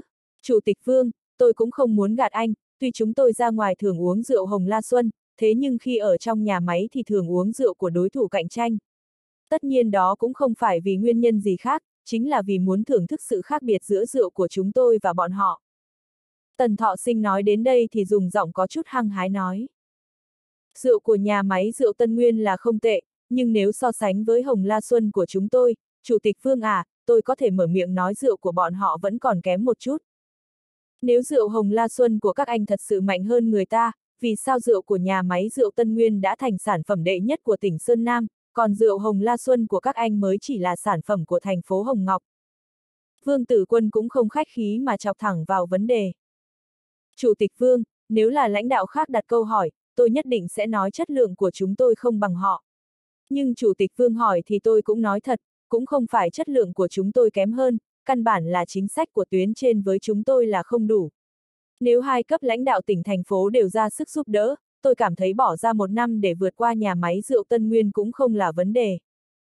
Tần Thọ Sinh lúc này cũng không khoác lác, hắn có thể đưa nhà máy rượu Hồng La Xuân phát triển đến ngày hôm nay, cũng có chỗ độc đáo riêng của mình. Vương Tử Quân nhìn bộ dạng tràn đầy tự tin của Tần Thọ Sinh, hắn cười ha hả nói. Giám đốc Tần, bây giờ là kinh tế thị trường, sự giúp đỡ của lãnh đạo tuy quan trọng và không thể bỏ qua nhưng nhu cầu của thị trường mới là quan trọng. Tôi đến đây cũng không phải yêu cầu giám đốc tần ném tiền ra đầu tư mà thôi, tôi còn muốn giúp nhà máy rượu Hồng La Xuân phát triển mạnh mẽ, trở nên kiêu ngạo, biến nó thành một sản phẩm rượu nổi tiếng của quốc gia. Đẩy mạnh phát triển, trở nên kiêu ngạo. Tần Thọ Sinh dùng ánh mắt nghiêm túc nhìn Vương Tử Quân, hắn thật sự không tin vào lỗ tai mình. Dù sao thì rượu Hồng La Xuân cũng nổi tiếng ở khu vực thành phố Hồng Ngọc, nhưng nếu nói muốn nổi tiếng trong phạm vi cả nước, chỉ sợ cũng không phải một chuyện dễ dàng. Tần Thọ Sinh nhìn vẻ mặt ung dung của Vương Tử Quân mà chút cảm giác không tin trong lòng chợt tan biến. Chủ tịch Vương, đẩy mạnh phát triển như thế nào? Tần Thọ Sinh lại ngẩng đầu nhìn Vương Tử Quân, nhưng lần này ánh mắt lại trần đầy hy vọng. Vương Tử Quân cũng không làm ảnh hưởng đến khẩu vị của Tần Thọ Sinh, hắn trực tiếp nói rõ ý nghĩ của mình, nói ra một bản quảng cáo đã đưa một xí nghiệp rượu trở nên nổi tiếng cả nước vào kiếp trước cho Tần Thọ Sinh. Tần Thọ Sinh nghe Vương Tử Quân nói ra bản kế hoạch mà vẻ mặt không ngừng biến đổi, một lúc lâu sau hắn mới dùng giọng do dự nói. Chủ tịch Vương, chúng tôi cũng đã làm quảng cáo, nhưng nó thật sự có tác dụng sao? Tất nhiên một quảng cáo tốt sẽ là nền tảng cho sự phát triển nhãn hiệu của một xí nghiệp. Bây giờ là thời đại tin tức, không còn là rượu ngon không sợ hẻm sâu nữa rồi. Nhà máy Hồng La Xuân của các anh cũng không thua kém người ta về chất lượng, chẳng qua là mức độ nổi tiếng không cao, vì vậy nên không đi ra khỏi thành phố Hồng Ngọc này được. Tôi tin tưởng chỉ cần thông qua quảng cáo, nhà máy rượu Hồng La Xuân sẽ nhanh chóng phát triển hùng mạnh. Vương Tử Quân có thể nói là cực kỳ tự tin ở phương diện này, dù sao cũng đã có tiền lệ thành công trước đó, hơn nữa nhà máy kiếp trước thành công còn có điều kiện cơ sở kém hơn cả Hồng La Xuân vào lúc này. Chủ tịch Vương, tuy bỏ ra 10 triệu cũng không phải là gánh nặng với công ty chúng tôi, nhưng cũng vì nó mà chúng tôi sẽ phải giảm bớt chút vốn lưu động. Tần Thọ Sinh nghe được kế hoạch của Vương Tử Quân, tuy cảm thấy không phải không có lý nhưng lúc này lại khó thể nào hạ quyết tâm, dù sao nó cũng liên quan đến sinh tử tồn vong của cả công ty. Anh Tần, tôi sẽ không để cho anh gánh chịu tất cả nguy hiểm. Trước khi đến tôi đã liên hệ với Tổng Giám đốc Tần của Tập đoàn Quân Thành, bọn họ rất có hứng thú với kế hoạch này, cho rằng đó sẽ là một hạng mục hợp tác rất tốt. Thế cho nên bọn họ tình nguyện bỏ vốn cùng hợp tác với các anh, hai bên sẽ cùng bỏ vốn đăng ký công ty mới chủ quản công tác tiêu thụ rượu Hồng La Xuân, còn phí tổn quảng cáo sẽ do tập đoàn Quân Thành bỏ ra. Nước phù sa không chảy ruộng người ngoài, Vương Tử Quân khi nghĩ đến tình huống chế tạo thương hiệu cho rượu Hồng La Xuân thì cũng nghĩ đến phản ứng của Tần Thọ Sinh. Một số tiền quảng cáo quá lớn, nếu như không làm quyết đoán thì sẽ không có người tham gia. Hắn cảm thấy Tần Thọ Sinh căn bản không phải là người quyết đoán như vậy.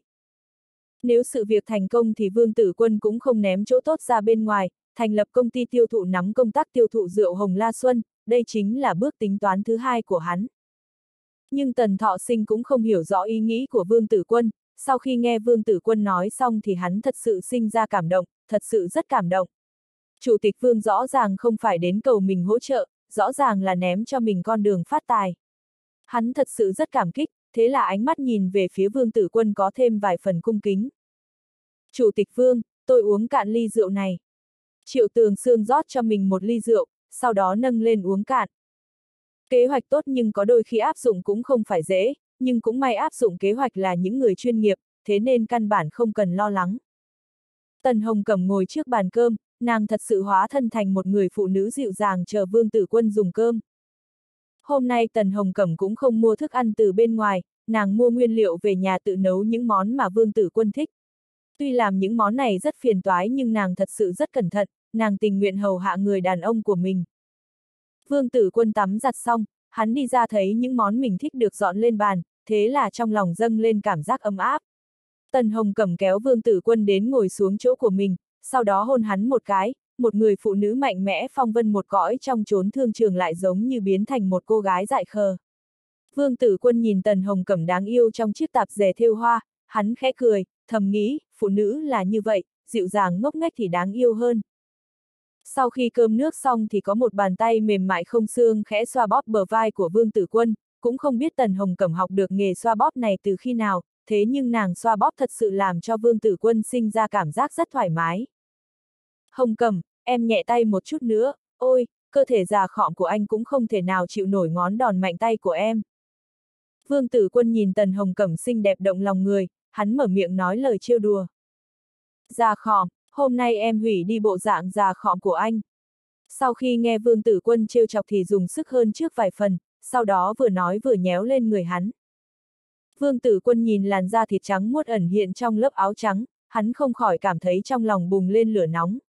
Hắn ôm người phụ nữ làm mình thật sự cuồng dại vào trong lòng, sau đó một ngọn lửa bùng lên thiêu đốt. Anh đúng là bại hoại, bây giờ là ban ngày. Tần Hồng Cẩm thật sự không ngờ Vương Tử Quân lại phản ứng nhiệt liệt như vậy, nàng vội vàng vươn tay cản lại động tác của hắn. Ban ngày mới tốt. Vương Tử Quân nào cho Tần Hồng Cẩm cơ hội phản kháng. Hắn vừa nói vừa dùng miệng bao phủ cặp môi đỏ tươi của Tần Hồng Cẩm. Sau một phen mưa gió thì hai người nằm lặng lặng trên giường, lúc này Tần Hồng Cẩm cảm thấy toàn thân mềm nhũn dã rời, nhưng ngón tay nghịch ngợm vẫn không quên vẽ những vòng tròn lên người Vương Tử Quân. Cũng không biết đầu anh có những thứ gì mà lại cho ra những kế hoạch như vậy, chưa nói gì khác, đám chuyên gia trong công ty của em thật sự cảm thấy khó tưởng với những kế hoạch của anh, nhưng bọn họ lại cảm thấy có 8 phần khả năng thành công.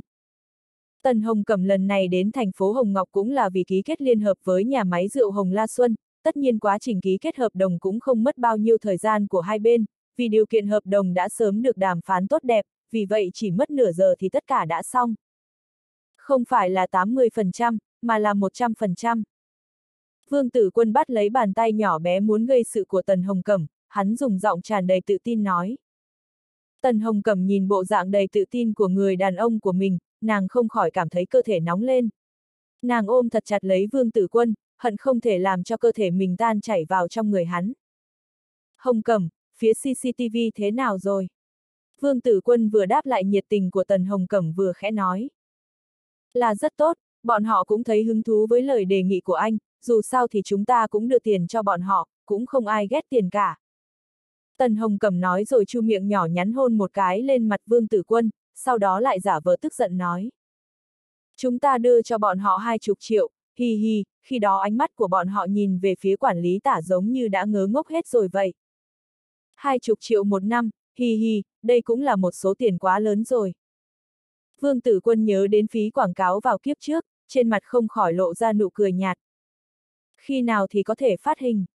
Vương Tử Quân nhìn lên đồng hồ điện tử rồi trầm giọng nói. Ngày mai, đoạn phim quảng cáo đã được làm xong, bọn họ đồng ý sẽ phát quảng cáo của chúng ta vào giờ vàng ngày mai. Tần Hồng Cẩm khẽ nép sát người mình vào người Vương Tử Quân rồi nói. Tút tút tút. Khi Vương Tử Quân chuẩn bị phát động thế tấn công với Tần Hồng Cẩm thì điện thoại chợt vang lên. Hắn nhìn dãy số trong điện thoại, thế là nhanh chóng nghe máy. Alo, là Chủ tịch Vương phải không? Tôi là Trương Thông. Giọng điệu của Trương Thông trong điện thoại có chút rồn rập, khi Vương Tử Quân định mở miệng hỏi có chuyện gì thì Trương Thông đã trầm giọng nói. Chủ tịch Vương, vừa rồi Chủ tịch Nhâm tổ chức một cuộc hội ý, dù không điểm danh anh thế nhưng lại ngấm ngầm nói anh không có kỷ luật tổ chức, công tác không chịu trách nhiệm, đi đến đàm phán công tác với nhà máy rượu Tân Nguyên, đến khi người ta muốn gặp lại không thấy đâu. Anh ta còn nói, chuyện này làm cho thành phố rất bị động, anh ấy yêu cầu khối chính quyền thành phố cho ra một văn kiện, trọng điểm đề cập đến quan niệm chính xác lúc tham gia công tác. Trương Thông lúc đầu nói rất nhanh, sau đó chậm dần lại. Vương Tử Quân nghe Trương Thông báo cáo, sau đó khẽ gật đầu, cuối cùng mới cười nói. Chủ tịch Trương, cảm ơn anh đã quan tâm đến tôi, anh cứ yên tâm, chuyện này sẽ không có vấn đề. Sau khi cúp điện thoại của Trương Thông thì Vương Tử Quân châm một điếu thuốc bắt đầu hút khói nhả xương. Tuy cú điện thoại của Trương Thông căn bản cũng không có nội dung thực tế, nhưng càng là như vậy càng chứng minh Nhâm Sương Bình và nhà máy rượu Tân Nguyên có một mối liên lạc mà chính mình không thể biết được. Người kia lại gọi nữa sao? Tần Hồng cầm duỗi hai cánh tay trắng nõn ra ôm lấy Vương Tử Quân, nàng dùng giọng tùy ý nói, bộ ngực ép lên người hắn chợt biến dạng. Vương Tử Quân thỏa mãn thiếu chút nữa thì rên lên, hắn vừa chậm rãi hưởng thụ sự dịu dàng của Tần Hồng Cẩm, vừa cười nói. Không có gì, hắn gọi thì cứ gọi, dù sao cũng không làm gì được. Cát Trường Binh là kẻ đã sáng lập ra thời đại huy hoàng của nhà máy rượu Tân Nguyên vào lúc hiện tại, hắn có địa vị không ai so sánh được trong nhà máy rượu Tân Nguyên. Nhưng hắn là người nghiêm khắc yêu cầu chính mình, bình thường khi không có chuyện gì thường ở nhà dùng cơm, căn bản rất ít khi uống rượu. Cát Trường Binh ngồi trên ghế salon trong nhà thoải mái xem chương trình thời sự. Mỗi ngày hắn đều xem thời sự, đây có thể nói là một sở thích của hắn, chỉ cần không có chuyện gì thì hắn sẽ nhất định không bỏ qua. Khi nhiều tin tức được phát, cơ thể Cát Trường Binh chợt rơi vào tình cảnh nửa tỉnh nửa mê nhưng đầu óc lại hoạt động cực kỳ mạnh mẽ. Ngoài vài chuyện liên quan đến nhà máy, hắn còn nghĩ đến vị phó chủ tịch thường vụ thành phố Đông Bộ trẻ tuổi kia. Đối phương đã đi mất, Cát Trường Binh dù thế nào cũng không ngờ mình nghe được tin tức này thì cảm thấy không thoải mái, trong lòng chợt bùng lên cảm giác tức giận, vì vị phó chủ tịch thường vụ kia căn bản không coi mình ra gì. Nhưng chắc chắn không qua được vài ngày, chỉ sợ vị phó chủ tịch thường vụ kia sẽ có cuộc sống không được dễ chịu cho lắm. Cát Trường Binh nghĩ về cuộc điện thoại kia mà thở dài một hơi, tuy hắn và chủ tịch Nhâm Sương Bình của thành phố Đông Bộ không có gì khúc mắc, thế nhưng vì sự phát triển của con mình sau này, hắn không thể không làm như vậy. Chỉ có thể thành thật xin lỗi vị phó chủ tịch thường vụ kia. Cát Trường Binh thầm cảm khái một tiếng, sau đó hắn ném cảm giác thương tiếc cuối cùng lên tận 9 tầng mây.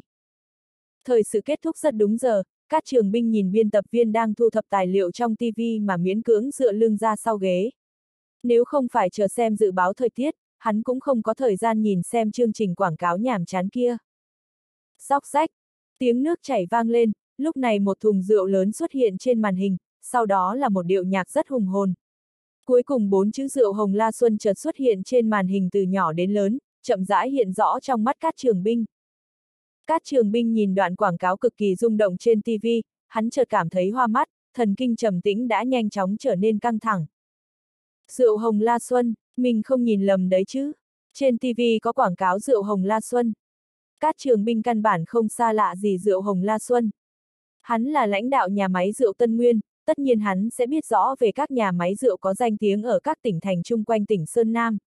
Hồng La Xuân là một loại rượu của tỉnh Chiết Giang, đây càng là đối tượng được hắn quan tâm trọng điểm. Nhưng khi địa vị của nhà máy rượu Tân Nguyên càng thêm vững chắc thì các trường binh đã loại bỏ nhà máy rượu Hồng La Xuân ra khỏi danh sách đối thủ của mình. Hắn thấy tuy rượu Hồng La Xuân không tồi nhưng căn bản không có thực lực cạnh tranh với nhà máy rượu Tân Nguyên. Nhưng bây giờ một đoạn quảng cáo như vậy đột nhiên xuất hiện làm cho các trường binh cảm thấy bực mình, một cảm giác không tốt bùng lên trong lòng. Tuy đoạn quảng cáo đã qua thế nhưng hắn vẫn đang nhìn chằm chằm vào màn hình. Anh Cát, anh làm sao vậy? Vợ của Cát trường binh từ trong một gian phòng khác đi ra, khi thấy bộ dạng của gấp gáp của Cát trường binh thì vội vàng dùng giọng quan tâm hỏi. Rượu hồng La Xuân, em thấy rượu hồng La Xuân như thế nào? Cát trường binh quay đầu sang nhìn vợ rồi trầm giọng hỏi. Làm vợ của Cát trường binh, Mã Xuân Diễm thật sự không biết đến nhiều thứ khác nhưng lại có không ít nghiên cứu về rượu. Sau khi nghe thấy chồng mình nhắc đến rượu hồng La Xuân thì nàng tùy ý nói. Rượu của nhà máy này có chất lượng tốt, hơn nữa em thấy nếu uống vào thì cảm nhận được có chút gì đó khác biệt so với rượu của công ty của anh. Vẻ mặt các trường binh dần khôi phục lại như thường, hắn nghe vài tiết mục trong TV, sau đó thở dài một hơi. Hắn tự tay đốt một điếu thuốc rồi một lúc lâu sau mới nói. Cứ nhảy đi, để xem các người nhảy được bao xa. Vợ các trường binh căn bản không biết chồng mình nói gì, nhưng các trường binh là người bình thường rất có khí độ, vợ cũng phải có chút sợ hãi, thế nên cũng không tiếp lời chồng. Nếu so sánh với tâm tình không tốt của các trường binh thì lúc này tần thọ sinh của nhà máy rượu Hồng La Xuân đang vui mừng như điên, bốn phía chung quanh hắn đám lãnh đạo nhà máy, bọn họ quy củ đứng cách tần thọ sinh không xa, từng cặp mắt nhìn chằm chằm vào màn hình lớn trước mặt. Quảng cáo rượu Hồng La Xuân, tần thọ sinh dù đã xem đoạn băng này không biết bao nhiêu lần, thế nhưng khi hình ảnh xuất hiện thì hắn cũng không nhịn được phải đứng lên. Quảng cáo rất ngắn, chỉ là nửa phút, thế nhưng khi nhìn hình ảnh quen thuộc xuất hiện thì tần thọ sinh không khỏi cảm thấy trái tim mình phóng lên họng. Thế nào? Sau khi điều chỉnh tâm tình của mình, tần thọ sinh dùng ánh mắt có chút không yên nhìn tên phó giám đốc ngồi cách đó không xa hỏi. chương 477, đừng treo nhiều tiền vàng lên một thân cây. Dù tần thọ sinh đã sớm có đáp án nhưng vẫn không nhìn được phải hỏi người khác, dù đối phương có đáp án thế nào thì cũng căn bản không thể ảnh hưởng đến quyết định của hắn. Tốt quá, Giám đốc Tần, tôi cảm thấy quảng cáo này là rất tốt, xem ra sau này nhà máy rượu Hồng La Xuân của chúng ta sẽ dựa vào đoạn phim quảng cáo này để tuyên truyền. Vị phó tổng giám đốc ở bên cạnh trầm ngâm sau khoảnh khắc rồi lớn tiếng nói, đây là bộ dạng mà Tần Thọ sinh thường thấy ở đối phương, thế nhưng lúc này lại giống như phụ họa thật lòng. Vị phó tổng giám đốc đã công tác ở nhà máy rượu Hồng La Xuân hơn nửa đời người, hắn còn chưa từng nghĩ rằng sẽ có một ngày xí nghiệp của mình sẽ có thể cho ra tình huống bừng bừng khí thế như lúc này. Đúng, sau này chúng ta sẽ dùng nó làm tuyên truyền, tôi tin chắc chỉ cần người ta nhìn vào đoạn quảng cáo kia sẽ không thể nào quên được rượu hồng la xuân của chúng ta. Vị phó giám đốc phụ trách nghiệp vụ của công ty cũng liên tục gật đầu nói. Từng âm thanh phụ họa vang lên làm cho vẻ mặt tần thọ sinh trở nên trói lọi. Lúc này hắn cảm thấy mình rất may mắn vì được hợp tác với Vương Tử Quân, tuy hắn không biết quảng cáo kia mang lại cho nhà máy rượu Hồng La Xuân bao nhiêu lực ảnh hưởng, thế nhưng hắn cũng không đơn thuần truy cầu hiệu ứng. Dựa vào kinh nghiệm lâu năm của hắn, hắn cảm thấy lực ảnh hưởng của đoạn quảng cáo kia phải là rất sâu xa. Có gì đâu, tôi chỉ cảm thấy đó là ném tiền vô bổ. Một âm thanh không hài hòa chợt vang lên trong đám người.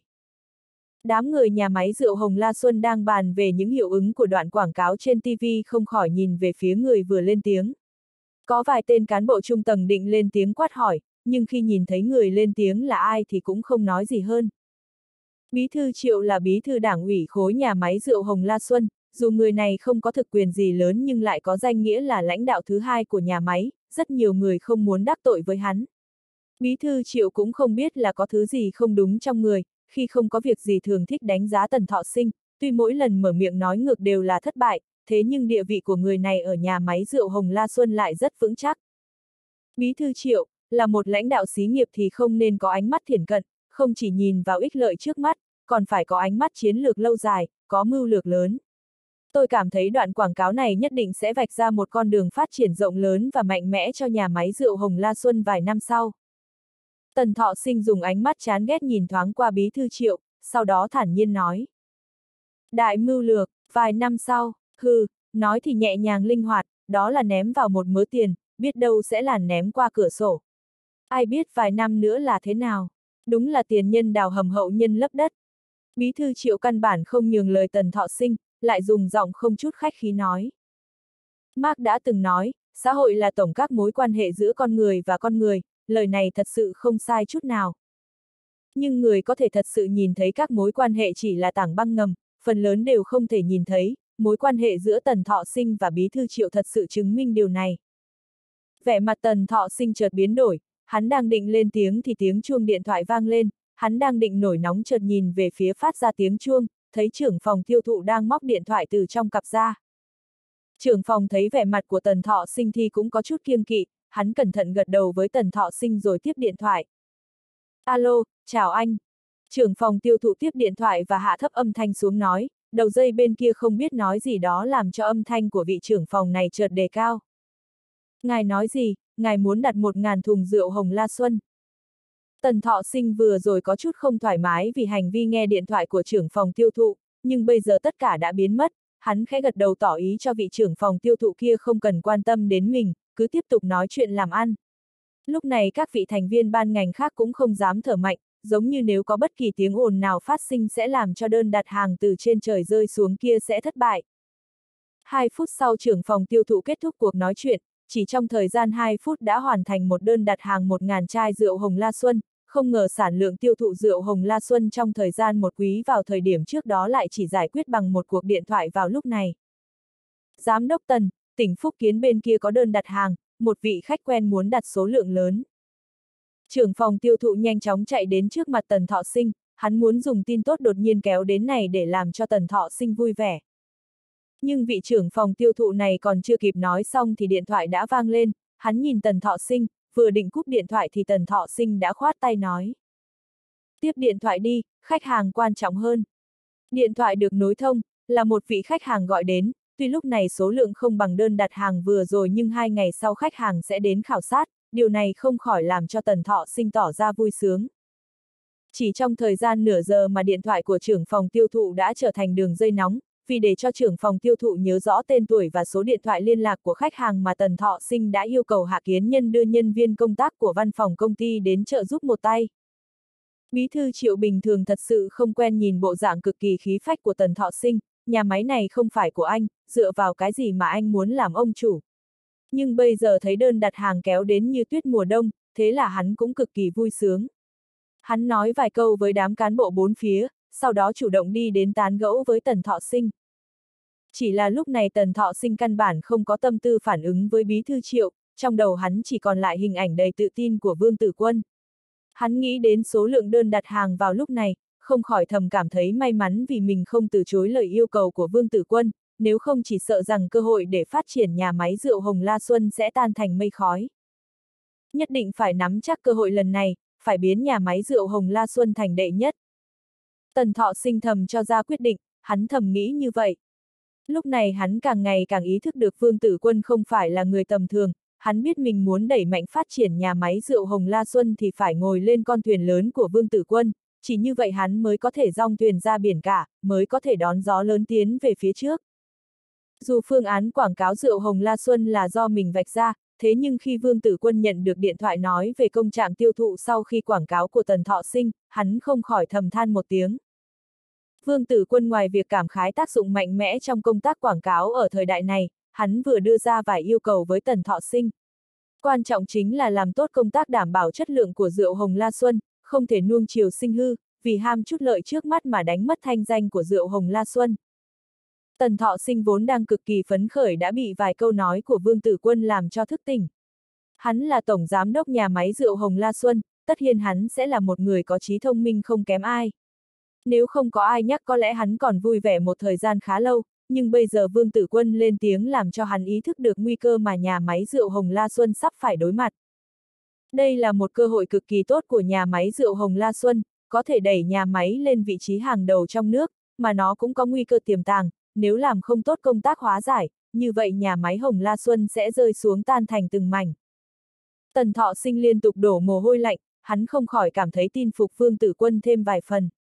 Hắn liên tục đảm bảo sẽ siết chặt công tác chất lượng của nhà máy rượu Hồng La Xuân, đồng thời cũng tự mình thỉnh giáo Vương Tử Quân về vai vấn đề liên quan. Vương Tử Quân cũng không phải chuyên gia đối với nhà máy rượu, thế cho nên hắn cũng không cho ra ý kiến gì chuyên nghiệp.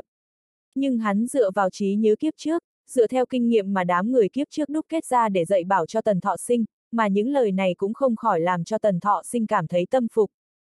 Chủ tịch Vương, khi nào anh rảnh thì xin rút ra chút thời gian, để anh mở một lớp bồi dưỡng cho giám cán bộ cao tầng trong công ty, để cho bọn họ cũng biết được tình thế hiện tại của mình.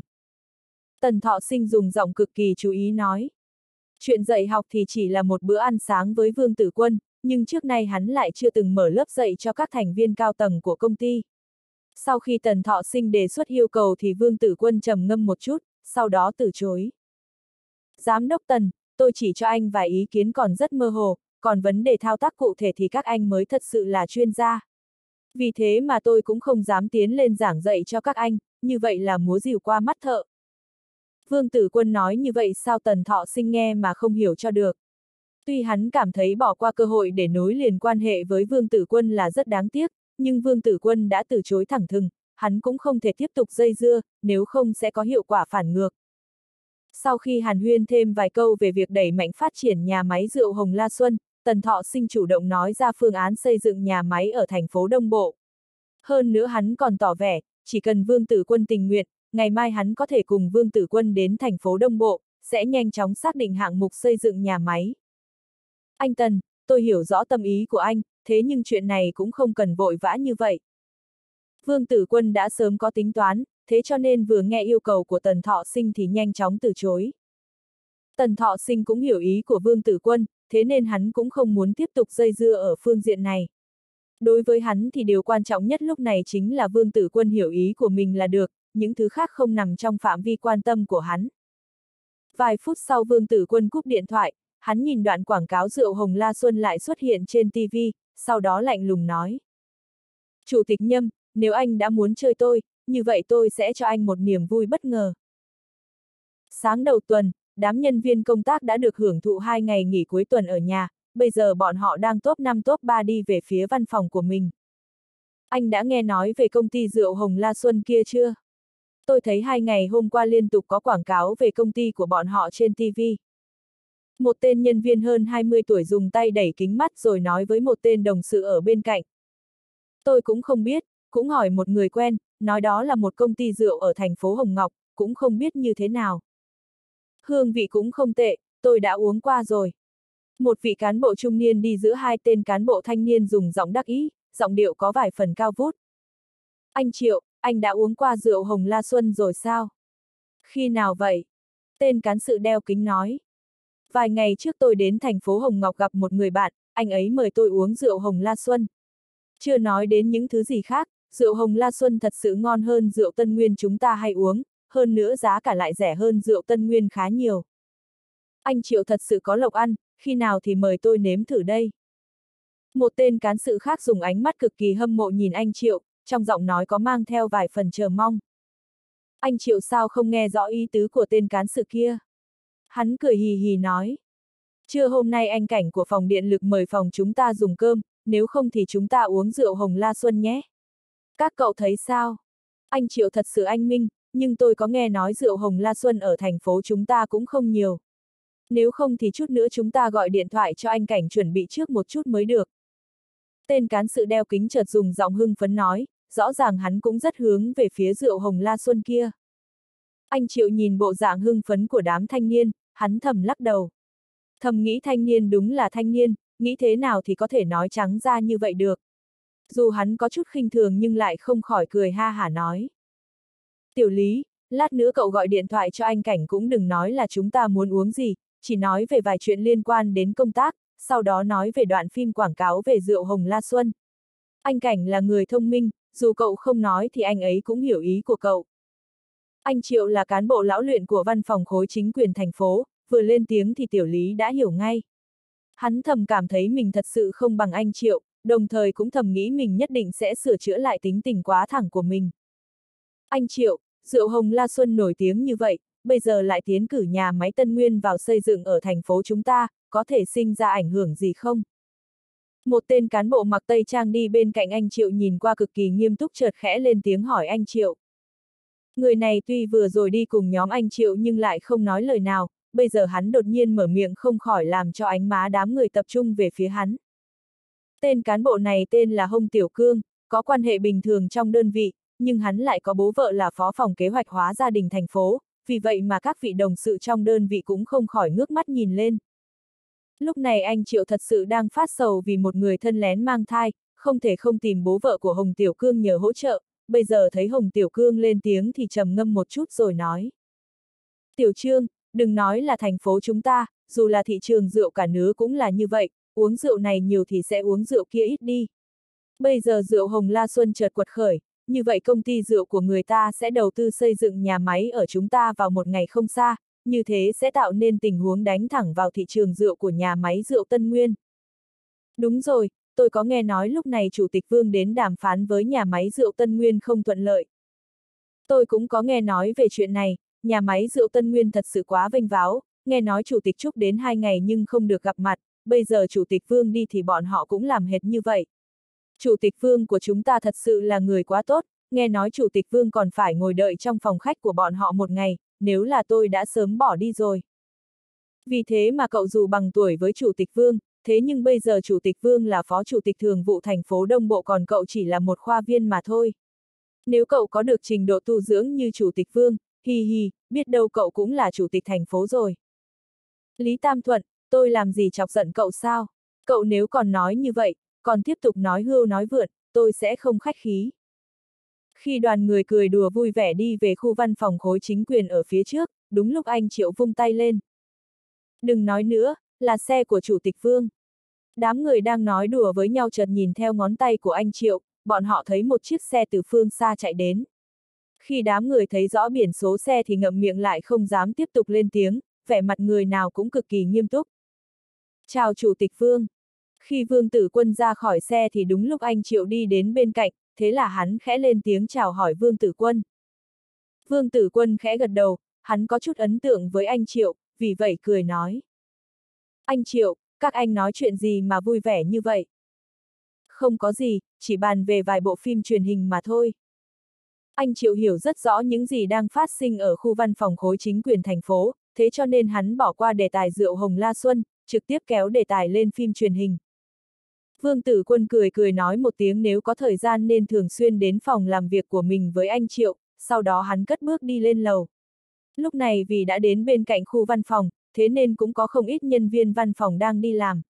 Khi bọn họ thấy Vương Tử Quân thì nhanh chóng dừng lại nhường đường, một vài người tránh ra xa một chút, sau đó đi cho nhanh để giữ khoảng cách với Chủ tịch Vương.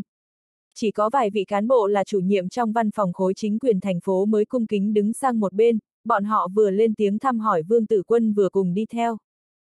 Chủ tịch Vương nhìn thì rất vui vẻ nhưng trong lòng thế nào cũng rất bức bối. Đám người tiểu lý vốn cũng đi theo sau lưng Vương Tử Quân, nhưng người đi theo sau lưng Chủ tịch Vương ngày càng nhiều, cấp bậc ngày càng cao, bọn họ xem như hoàn toàn được giải phóng. Lúc này tiểu lý thở dài một hơi rồi nói. Còn không phải sao, có câu lãnh đạo đi trên đường càng vui tươi càng cầu tiến, cán bộ đi theo sau lưng lãnh đạo càng gần càng cầu tiến, nhưng tôi thấy câu nói này tám phần không đúng, vì sao tôi đi theo sau lưng chủ tịch vương luôn sinh ra cảm giác không được tự nhiên. Như vậy sau này sao có thể cầu tiến đây? Hồng Tiểu Cương cũng thở dài một hơi, hắn lại dùng sức phung vẫy tay chân hoạt động gân cốt giống như đang chịu áp bức gì đó rất mạnh vậy. Anh Triệu cười ha hả đi về phía trước, hắn cũng không phát biểu ý kiến của mình về phương diện này. Hắn căn bản đã đi qua độ tuổi bị những thứ như vậy hấp dẫn, càng ghi nhớ câu nói, nói nhiều tất hớ, nếu muốn nói chuyện phóng túng cho sướng về chuyện nhà cửa ruộng vườn thì hắn sẽ tuyệt đối không lùi bước, nhưng những gì có liên quan đến lãnh đạo, hắn sẽ không bao giờ chen chân vào. Các cậu này đúng là, cũng đừng nói cái gì mà cầu tiến hay tiến bộ, trước tiên nhanh chóng vào văn phòng gọi điện thoại cho anh Cảnh, trước tiên xác định rõ chuyện rượu Hồng La Xuân rồi nói sau. Khi đủ lời nghị luận truyền vào trong tai của anh Triệu, hắn cảm thấy mình không thể nào không mở miệng pha trò được. Đề tài rượu hồng La Xuân được anh Triệu ném ra đã nhanh chóng thu hút vài tên cán bộ thanh niên chung quanh, thế là bọn họ nhanh chóng chuyển đề tài, sau đó lại nhanh chân đi về phía văn phòng, giống như chỉ sợ đến chậm sẽ không kịp gọi điện thoại cho anh cảnh vậy. Khi Vương Tử Quân đến phòng làm việc của mình thì bên trong đã được nhân viên công tác quét dọn rất sạch sẽ, hai bồn hoa không biết tên một được đặt xuống đất một đặt lên bàn làm cho cả gian phòng bừng bừng sức sống. Khi thấy phòng làm việc có chút thay đổi thì Vương Tử Quân cảm thấy tâm tình rất khoan khoái, hắn ngồi trên ghế uống ly trà triệu quốc lương tự pha, sau đó cầm lấy một văn kiện, tùy ý lật ra. Thông báo về việc tăng cường trách nhiệm của lãnh đạo với công tác, Vương Tử Quân nhìn văn kiện do Nhâm Sương Bình ký thông qua, hắn không khỏi có hơi nhíu mày. Phần văn kiện này tuy có nội dung khá hàm hồ, nhưng hắn lại biết rõ nó đang chĩa vào ai. Quốc Lương, hôm nay có chương trình sắp xếp gì đặc biệt không? Vương Tử Quân nhìn Triệu Quốc Lương đặt ly trà vừa châm nước xuống bàn cho mình, sau đó hắn dùng giọng tùy ý hỏi. Chủ tịch Vương, hôm nay có một hội nghị sản xuất nông nghiệp của thành phố cần anh tham gia. Triệu Quốc Lương mở sổ ra khẽ báo cáo với Vương Tử Quân. Hội nghị sản xuất nông nghiệp. Vương Tử Quân khẽ lập lại một câu rồi đưa mắt nhìn Triệu Quốc Lương. Triệu Quốc Lương đi theo Vương Tử Quân ngày càng lâu thì càng tạo nên ăn ý ở nhiều phương diện, hắn nhìn ánh mắt của lãnh đạo rồi lên tiếng nói. Hội nghị này nghe nói vốn do Chủ tịch Nhâm tham gia, nhưng hôm nay Chủ tịch Nhâm hình như có việc bận, thế là đã để nhân viên Giang Thị đến yêu cầu anh thay thế. À, biết rồi. Vương Tử Quân khẽ gật đầu, thay thế Chủ tịch đi dự hội nghị chính là một công việc của Phó Chủ tịch Thường vụ, nhưng đây là sự việc lần đầu tiên phát sinh từ khi Vương Tử Quân đến nhận chức ở thành phố Đông Bộ. Vương Tử Quân lật qua vài văn kiện thì điện thoại vang lên, khi đưa mắt nhìn qua số điện thoại thì hắn nghe máy. Chủ tịch Vương, tôi là Nham Phú, hành trình của anh đến nhà máy rượu Tân Nguyên thế nào rồi? Tôi nghe nói có người muốn níu chặt lấy vấn đề này để làm khó anh. Lưu Nham Phú ở đầu dây bên kia cũng không khách sáo với Vương Tử Quân, hắn trực tiếp đi vào chủ đề. Vương Tử Quân cũng nghe nói đến vấn đề này, hắn chỉ khẽ cười nói. Cảm ơn Chủ tịch Lưu đã quan tâm, cũng không có việc gì. Không có việc gì thì tốt quá, ha ha, nhưng nếu anh như vậy thì sẽ có người nào đó thất vọng rồi. Lưu Nham Phú nói đến ba chữ người nào đó rất lớn, giống như muốn cắn nát ba chữ này ra.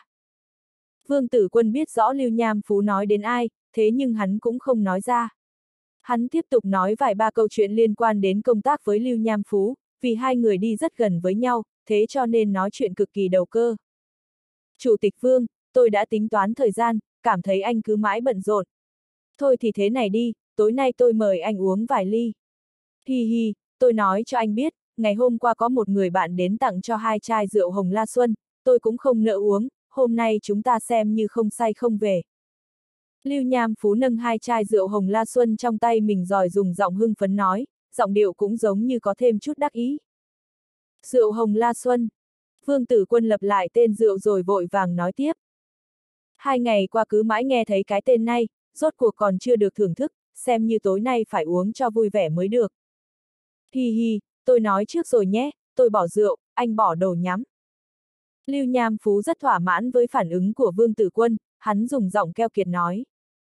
Được được được, chủ tịch Lưu của tôi, bây giờ anh là thần tài của thành phố Đông Bộ, lại muốn chiếm chút tiện nghi với kẻ nghèo hèn như tôi, thật sự là người càng có tiền thì càng xấu tính. Sau khi hẹn giờ đi uống rượu với Lưu Nham Phú thì tâm tình Vương Tử Quân càng thêm thả lỏng, hắn nhanh chóng xem xét văn kiện, sau đó tiến hành phê chỉ thị với một số sự việc nằm trong phạm vi chức trách của mình. Một giờ trôi qua, một chồng văn kiện xếp trên bàn đã được Vương Tử Quân xử lý sạch sẽ. Tút tút tút, tiếng chuông điện thoại lại vang lên, Vương Tử Quân nhìn thoáng qua dãy số, sau đó hắn khẽ đặt bút xuống bàn, lại trầm giọng nói. Chủ tịch Nhâm, tôi là Vương Tử Quân. Chủ tịch Tử Quân, anh từ nhà máy rượu Tân Nguyên về từ khi nào vậy? Trong điện thoại vang lên tiếng cười thật sự thoải mái của Nhâm Sương Bình. Vương Tử Quân cũng cười nói.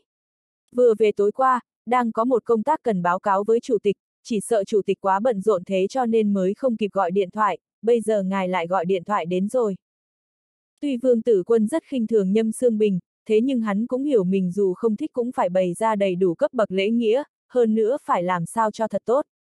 Nếu để người ta gây rối ở sự kiện nhỏ nhặt như thế này thì cũng không phải là hành động sáng suốt. Chủ tịch tử quân, bây giờ anh cũng đừng nói vội, mời anh đến phòng làm việc của tôi một chuyến. Nhâm Sương Bình cũng không cảm thấy vui vì những lời khiêm tốn của Vương Tử Quân, hắn có chút trầm ngâm, sau đó nói với Vương Tử Quân. Được, vậy thì tôi sẽ qua ngay. Vương Tử Quân khẽ đồng ý, sau đó hắn cúp điện thoại. Hắn cầm bút ký cho xong phần văn kiện đang xem xét giang dở, sau đó hắn rời khỏi phòng làm việc của mình. Trước khi Nhâm Sương Bình gọi điện thoại cho Vương Tử Quân thì đã liên hệ với các trường binh, thái độ của các trường binh trong điện thoại rất bình thường, nhưng nó cũng không ảnh hưởng đến cảm giác hưng phấn của Nhâm Sương Bình.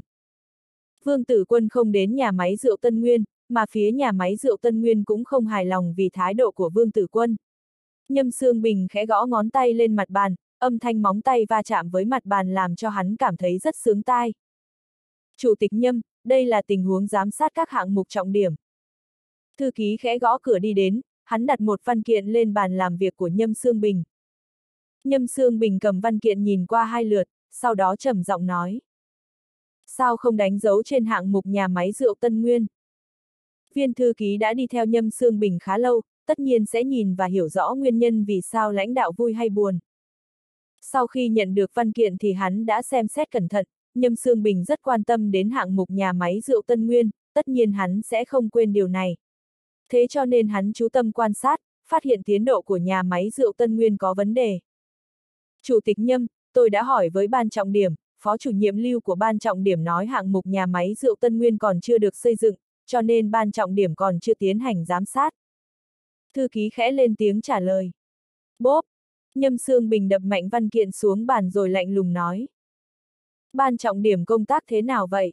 Khi bắt đầu thành lập ban ngành này thì tôi đã nói rõ với bọn họ rồi, nhất định phải giám sát các hạng mục cho tốt.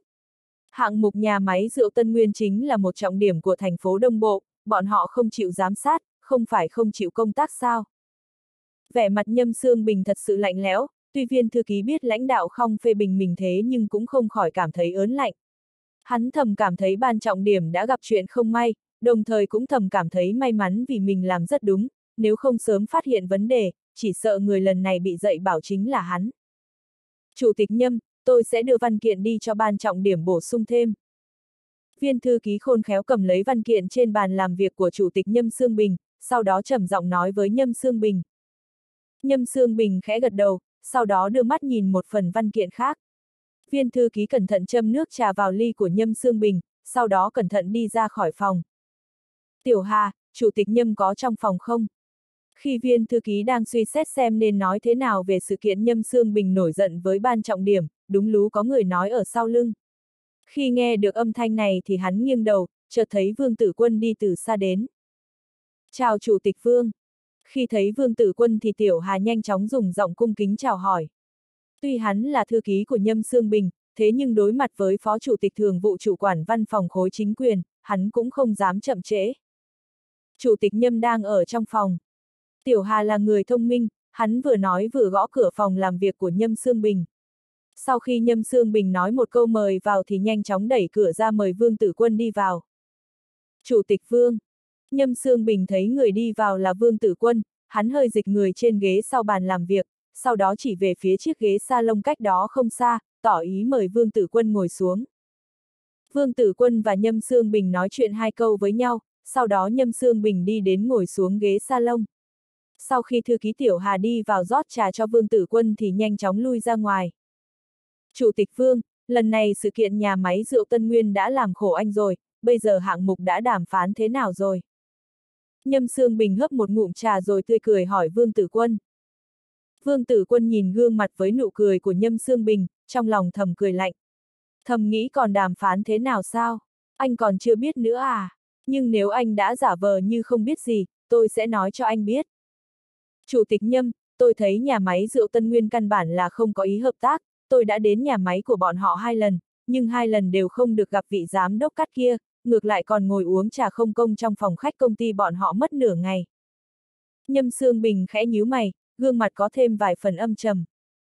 Chủ tịch tử quân, theo như lời anh thì nhà máy rượu Tân Nguyên căn bản không còn khả năng hợp tác với thành phố chúng ta sao? Tôi cảm thấy bọn họ căn bản là không có ý này. Vương Tử Quân dùng ánh mắt không chút sợ hãi nhìn Nhâm Sương Bình, hắn nói ra từng câu từng chữ rất rõ ràng. Chủ tịch Tử Quân, nhà máy rượu Tân Nguyên là hạng mục trọng điểm mà tỉnh ủy đã có văn kiện thông báo, bây giờ tuy gặp chút khó khăn nhưng chúng ta cần phải dùng thành ý của mình để làm nhà máy rượu Tân Nguyên cảm động. Anh chỉ mới bị hắt hủi một lần mà trực tiếp bỏ qua mặc kệ, tôi cảm thấy thái độ như thế là không được, đây là không có trách nhiệm với công tác kêu gọi đầu tư.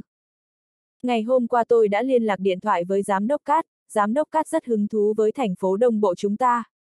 Anh ấy còn nói hai ngày anh đến thì bọn họ quá bận, vì vậy mà tiếp đãi có chút sơ sẩy, sau khi làm xong thì vội vàng đến tìm, không ngờ Chủ tịch Vương lại mất kiên nhẫn, đã sớm vỗ mông bỏ đi, điều này làm cho bọn họ cảm thấy mất hứng, căn bản là không có thành ý hợp tác. Chủ tịch Nhâm, loại hợp tác này tôi căn bản cảm thấy hai bên có thành ý mới có thể đàm phán được. Tôi và Chủ tịch Trúc đã đến tìm hiểu hai lần, như vậy cũng đủ nói lên thành ý của thành phố chúng ta. Nếu nhà máy rượu Tân Nguyên quả thật cố tình muốn xây dựng nhà máy ở Đông Bộ, như vậy phải phái người đến đây bàn bạc ngang hàng, cũng không phải là chúng ta chay theo thỏa hiệp, giống như cầu xin bọn họ vậy. Vương Tử Quân nhìn thẳng vào Nhâm Sương Bình rồi lên tiếng. Nhâm Sương Bình nghe thấy giọng điệu của Vương Tử Quân có mang theo vài phần tức giận thì cảm thấy cực kỳ mừng rỡ, hắn muốn chính là Vương Tử Quân nổi giận, hắn muốn Vương Tử Quân bỏ qua cơ hội hợp tác với nhà máy rượu Tân Nguyên, như vậy hắn sẽ tiếp nhận. Vì thế người ta nhìn vào sẽ thấy rõ là Vương Tử Quân không có năng lực, căn bản không làm gì ra hồn.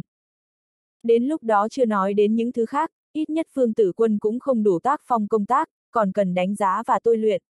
Loại đánh giá này căn bản là không có gì quá ghê gớm, thế nhưng khi đề bạt cán bộ sẽ là một thanh kiếm vô hình, có thể phát ra tác dụng giết người không máu. Chủ tịch Vương, anh có thái độ như vậy làm tôi thấy có vấn đề. Tôi là người đứng đầu khối chính quyền thành phố, tôi cảm thấy anh cần phải xem xét lại thái độ của mình, nếu không thì có đàm phán hạng mục của nhà máy rượu Tân Nguyên cũng thất bại. Chủ tịch Nhâm, tôi cảm thấy muốn phát triển kinh tế thì phải là hai bên cùng tiến hành trên cơ sở cùng có lợi và ngang hàng với nhau, cũng không phải vì một hạng mục được khởi công mà khúm núm, liên tục nhượng bộ. Dù hạng mục nhà máy rượu Tân Nguyên thật sự rất tốt, thế nhưng tôi cảm thấy vẫn còn rất nhiều hạng mục tốt, chúng ta cũng không nên treo hết tiền vàng lên một thân cây. Vương Tử Quân thật sự nói trắng ra, điều này làm cho Nhâm Sương Bình chợt thấy được hy vọng thắng lợi. Hắn chợt đứng lên khỏi ghế rồi trầm giọng nói. Chủ tịch Tử Quân, tôi thừa nhận còn nhiều hạng mục tốt, thế nhưng chúng ta công tác thì phải làm cho đến nơi đến chốn. Nếu anh đã cảm thấy hạng mục này không còn hy vọng, chuyện này cũng không cần anh quản. Nhưng tôi là người đứng đầu ban ngành, là một người anh, tôi phải nhắc nhở anh một câu, đó là công tác phải luôn có thái độ không bao giờ buông lỏng, chỉ như vậy mới có thể làm tốt công tác. Vương Tử Quân tuy không phục luận điệu của Nhâm Sương Bình, thế nhưng Nhâm Sương Bình dù sao cũng là chủ tịch thành phố, chiếm ưu thế về vị trí so với hắn. Đối phương có thể đứng trên góc độ của một người lãnh đạo ban ngành để đề xuất phê bình Vương Tử Quân, nhưng Vương Tử Quân chỉ là một phó chủ tịch thường vụ, chỉ có thể đề xuất chút ý kiến với Nhâm Sương Bình mà thôi. Đây chính là ý nghĩa của câu nói vị trí quyết định quyền lên tiếng. Vương Tử Quân rời khỏi phòng làm việc của Nhâm Sương Bình mà gương mặt treo nụ cười nhàn nhạt, nhạt, vẻ mặt Nhâm Sương Bình thì khá âm trầm. Nhưng khi Vương Tử Quân đi ra ngoài thì trên mặt dần tách ra nụ cười. Nhâm Sương Bình cảm thấy thắng lợi càng lúc càng đến gần, hầu như đã nằm trong tầm mắt rồi. Lần này quyết đấu với Vương Tử Quân, hắn không những phê bình đối phương vài câu, càng thuận lợi đẩy đối phương vào trong hạng mục đã thất bại với nhà máy rượu Tân Nguyên, sau đó lại nắm lấy vào trong tay mình. Nhâm Sương Bình thật sự vui vẻ ra mặt, trong lòng sinh ra xúc động muốn tìm người chia sẻ cảm giác vui sướng cực độ của mình.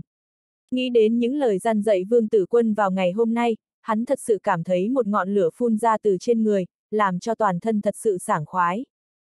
Nhưng Nhâm Sương Bình dù sao cũng là Nhâm Sương Bình, hắn đã ẩn nhẫn nhiều năm dưới sự áp chế về quyền uy của Tiết Diệu Tiến, thế cho nên vẫn có thể áp chế cảm giác vui sướng của mình vào lúc này. Hắn cố gắng chấn định tâm thần ngồi xuống ghế sau bàn làm việc, sau đó lẳng lặng suy tư. 10 phút sau Nhâm Sương Bình cầm điện thoại lên, hắn bấm số, sau khi điện thoại nối thông thì giọng điệu mang theo vài phần cung kính. Trưởng phòng đồng, tôi là Sương Bình, bây giờ ngài có rảnh không? Đồng Quốc Khánh bây giờ có vị trí không khác biệt gì lắm so với Nhâm Sương Bình, nhưng lúc này biểu hiện của Nhâm Sương Bình lại giống như coi Đồng Quốc Khánh là lãnh đạo thượng cấp của mình. Đồng Quốc Khánh ở đầu dây bên kia không biết nói gì đó mà Nhâm Sương Bình vừa cười vừa nói. Trưởng phòng đồng, vừa rồi Chủ tịch Vương Tử Quân đến phòng làm việc của tôi, thật sự kêu khổ khá nhiều, nói không còn hy vọng gì với hạng mục của nhà máy rượu Tân Nguyên. Anh ấy còn nói còn nhiều hạng mục, chúng ta cũng không nên chú tâm hợp tác với nhà máy rượu Tân Nguyên. Tôi biết rồi, trưởng phòng đồng, ngài yên tâm, tôi sẽ nhất định tiến hành khuyên bảo thái độ công tác của Chủ tịch Vương. Chủ tịch Vương cũng ý thức được sai lầm của mình, nếu anh ấy đã cảm thấy khó xử, như vậy tôi thấy không nên cho anh ấy tham gia vào sự kiện này. Cảm ơn trưởng phòng đồng đã quan tâm, ngày mai tôi sẽ đến nhà máy rượu Tân Nguyên một chuyến, tôi tin tưởng chỉ cần thành phố Đông Bộ chúng tôi có thành ý, hạng mục nhà máy rượu Tân Nguyên ở thành phố Đông Bộ sẽ thành công. Trưởng phòng đồng, tôi nhất định sẽ kiên quyết chứng thực thái độ công tác với tỉnh ủy, nhất định sẽ nắm bắt hạng mục nhà máy rượu Tân Nguyên. Nhâm Sương Bình lên tiếng bày tỏ thái độ một cách chém đinh chặt sắt, thật sự rất có khí phách, giống như một vị tướng quân thống lĩnh quân đội bày tỏ thái độ vậy. Audio điện tử võ tấn bền Hết tập 53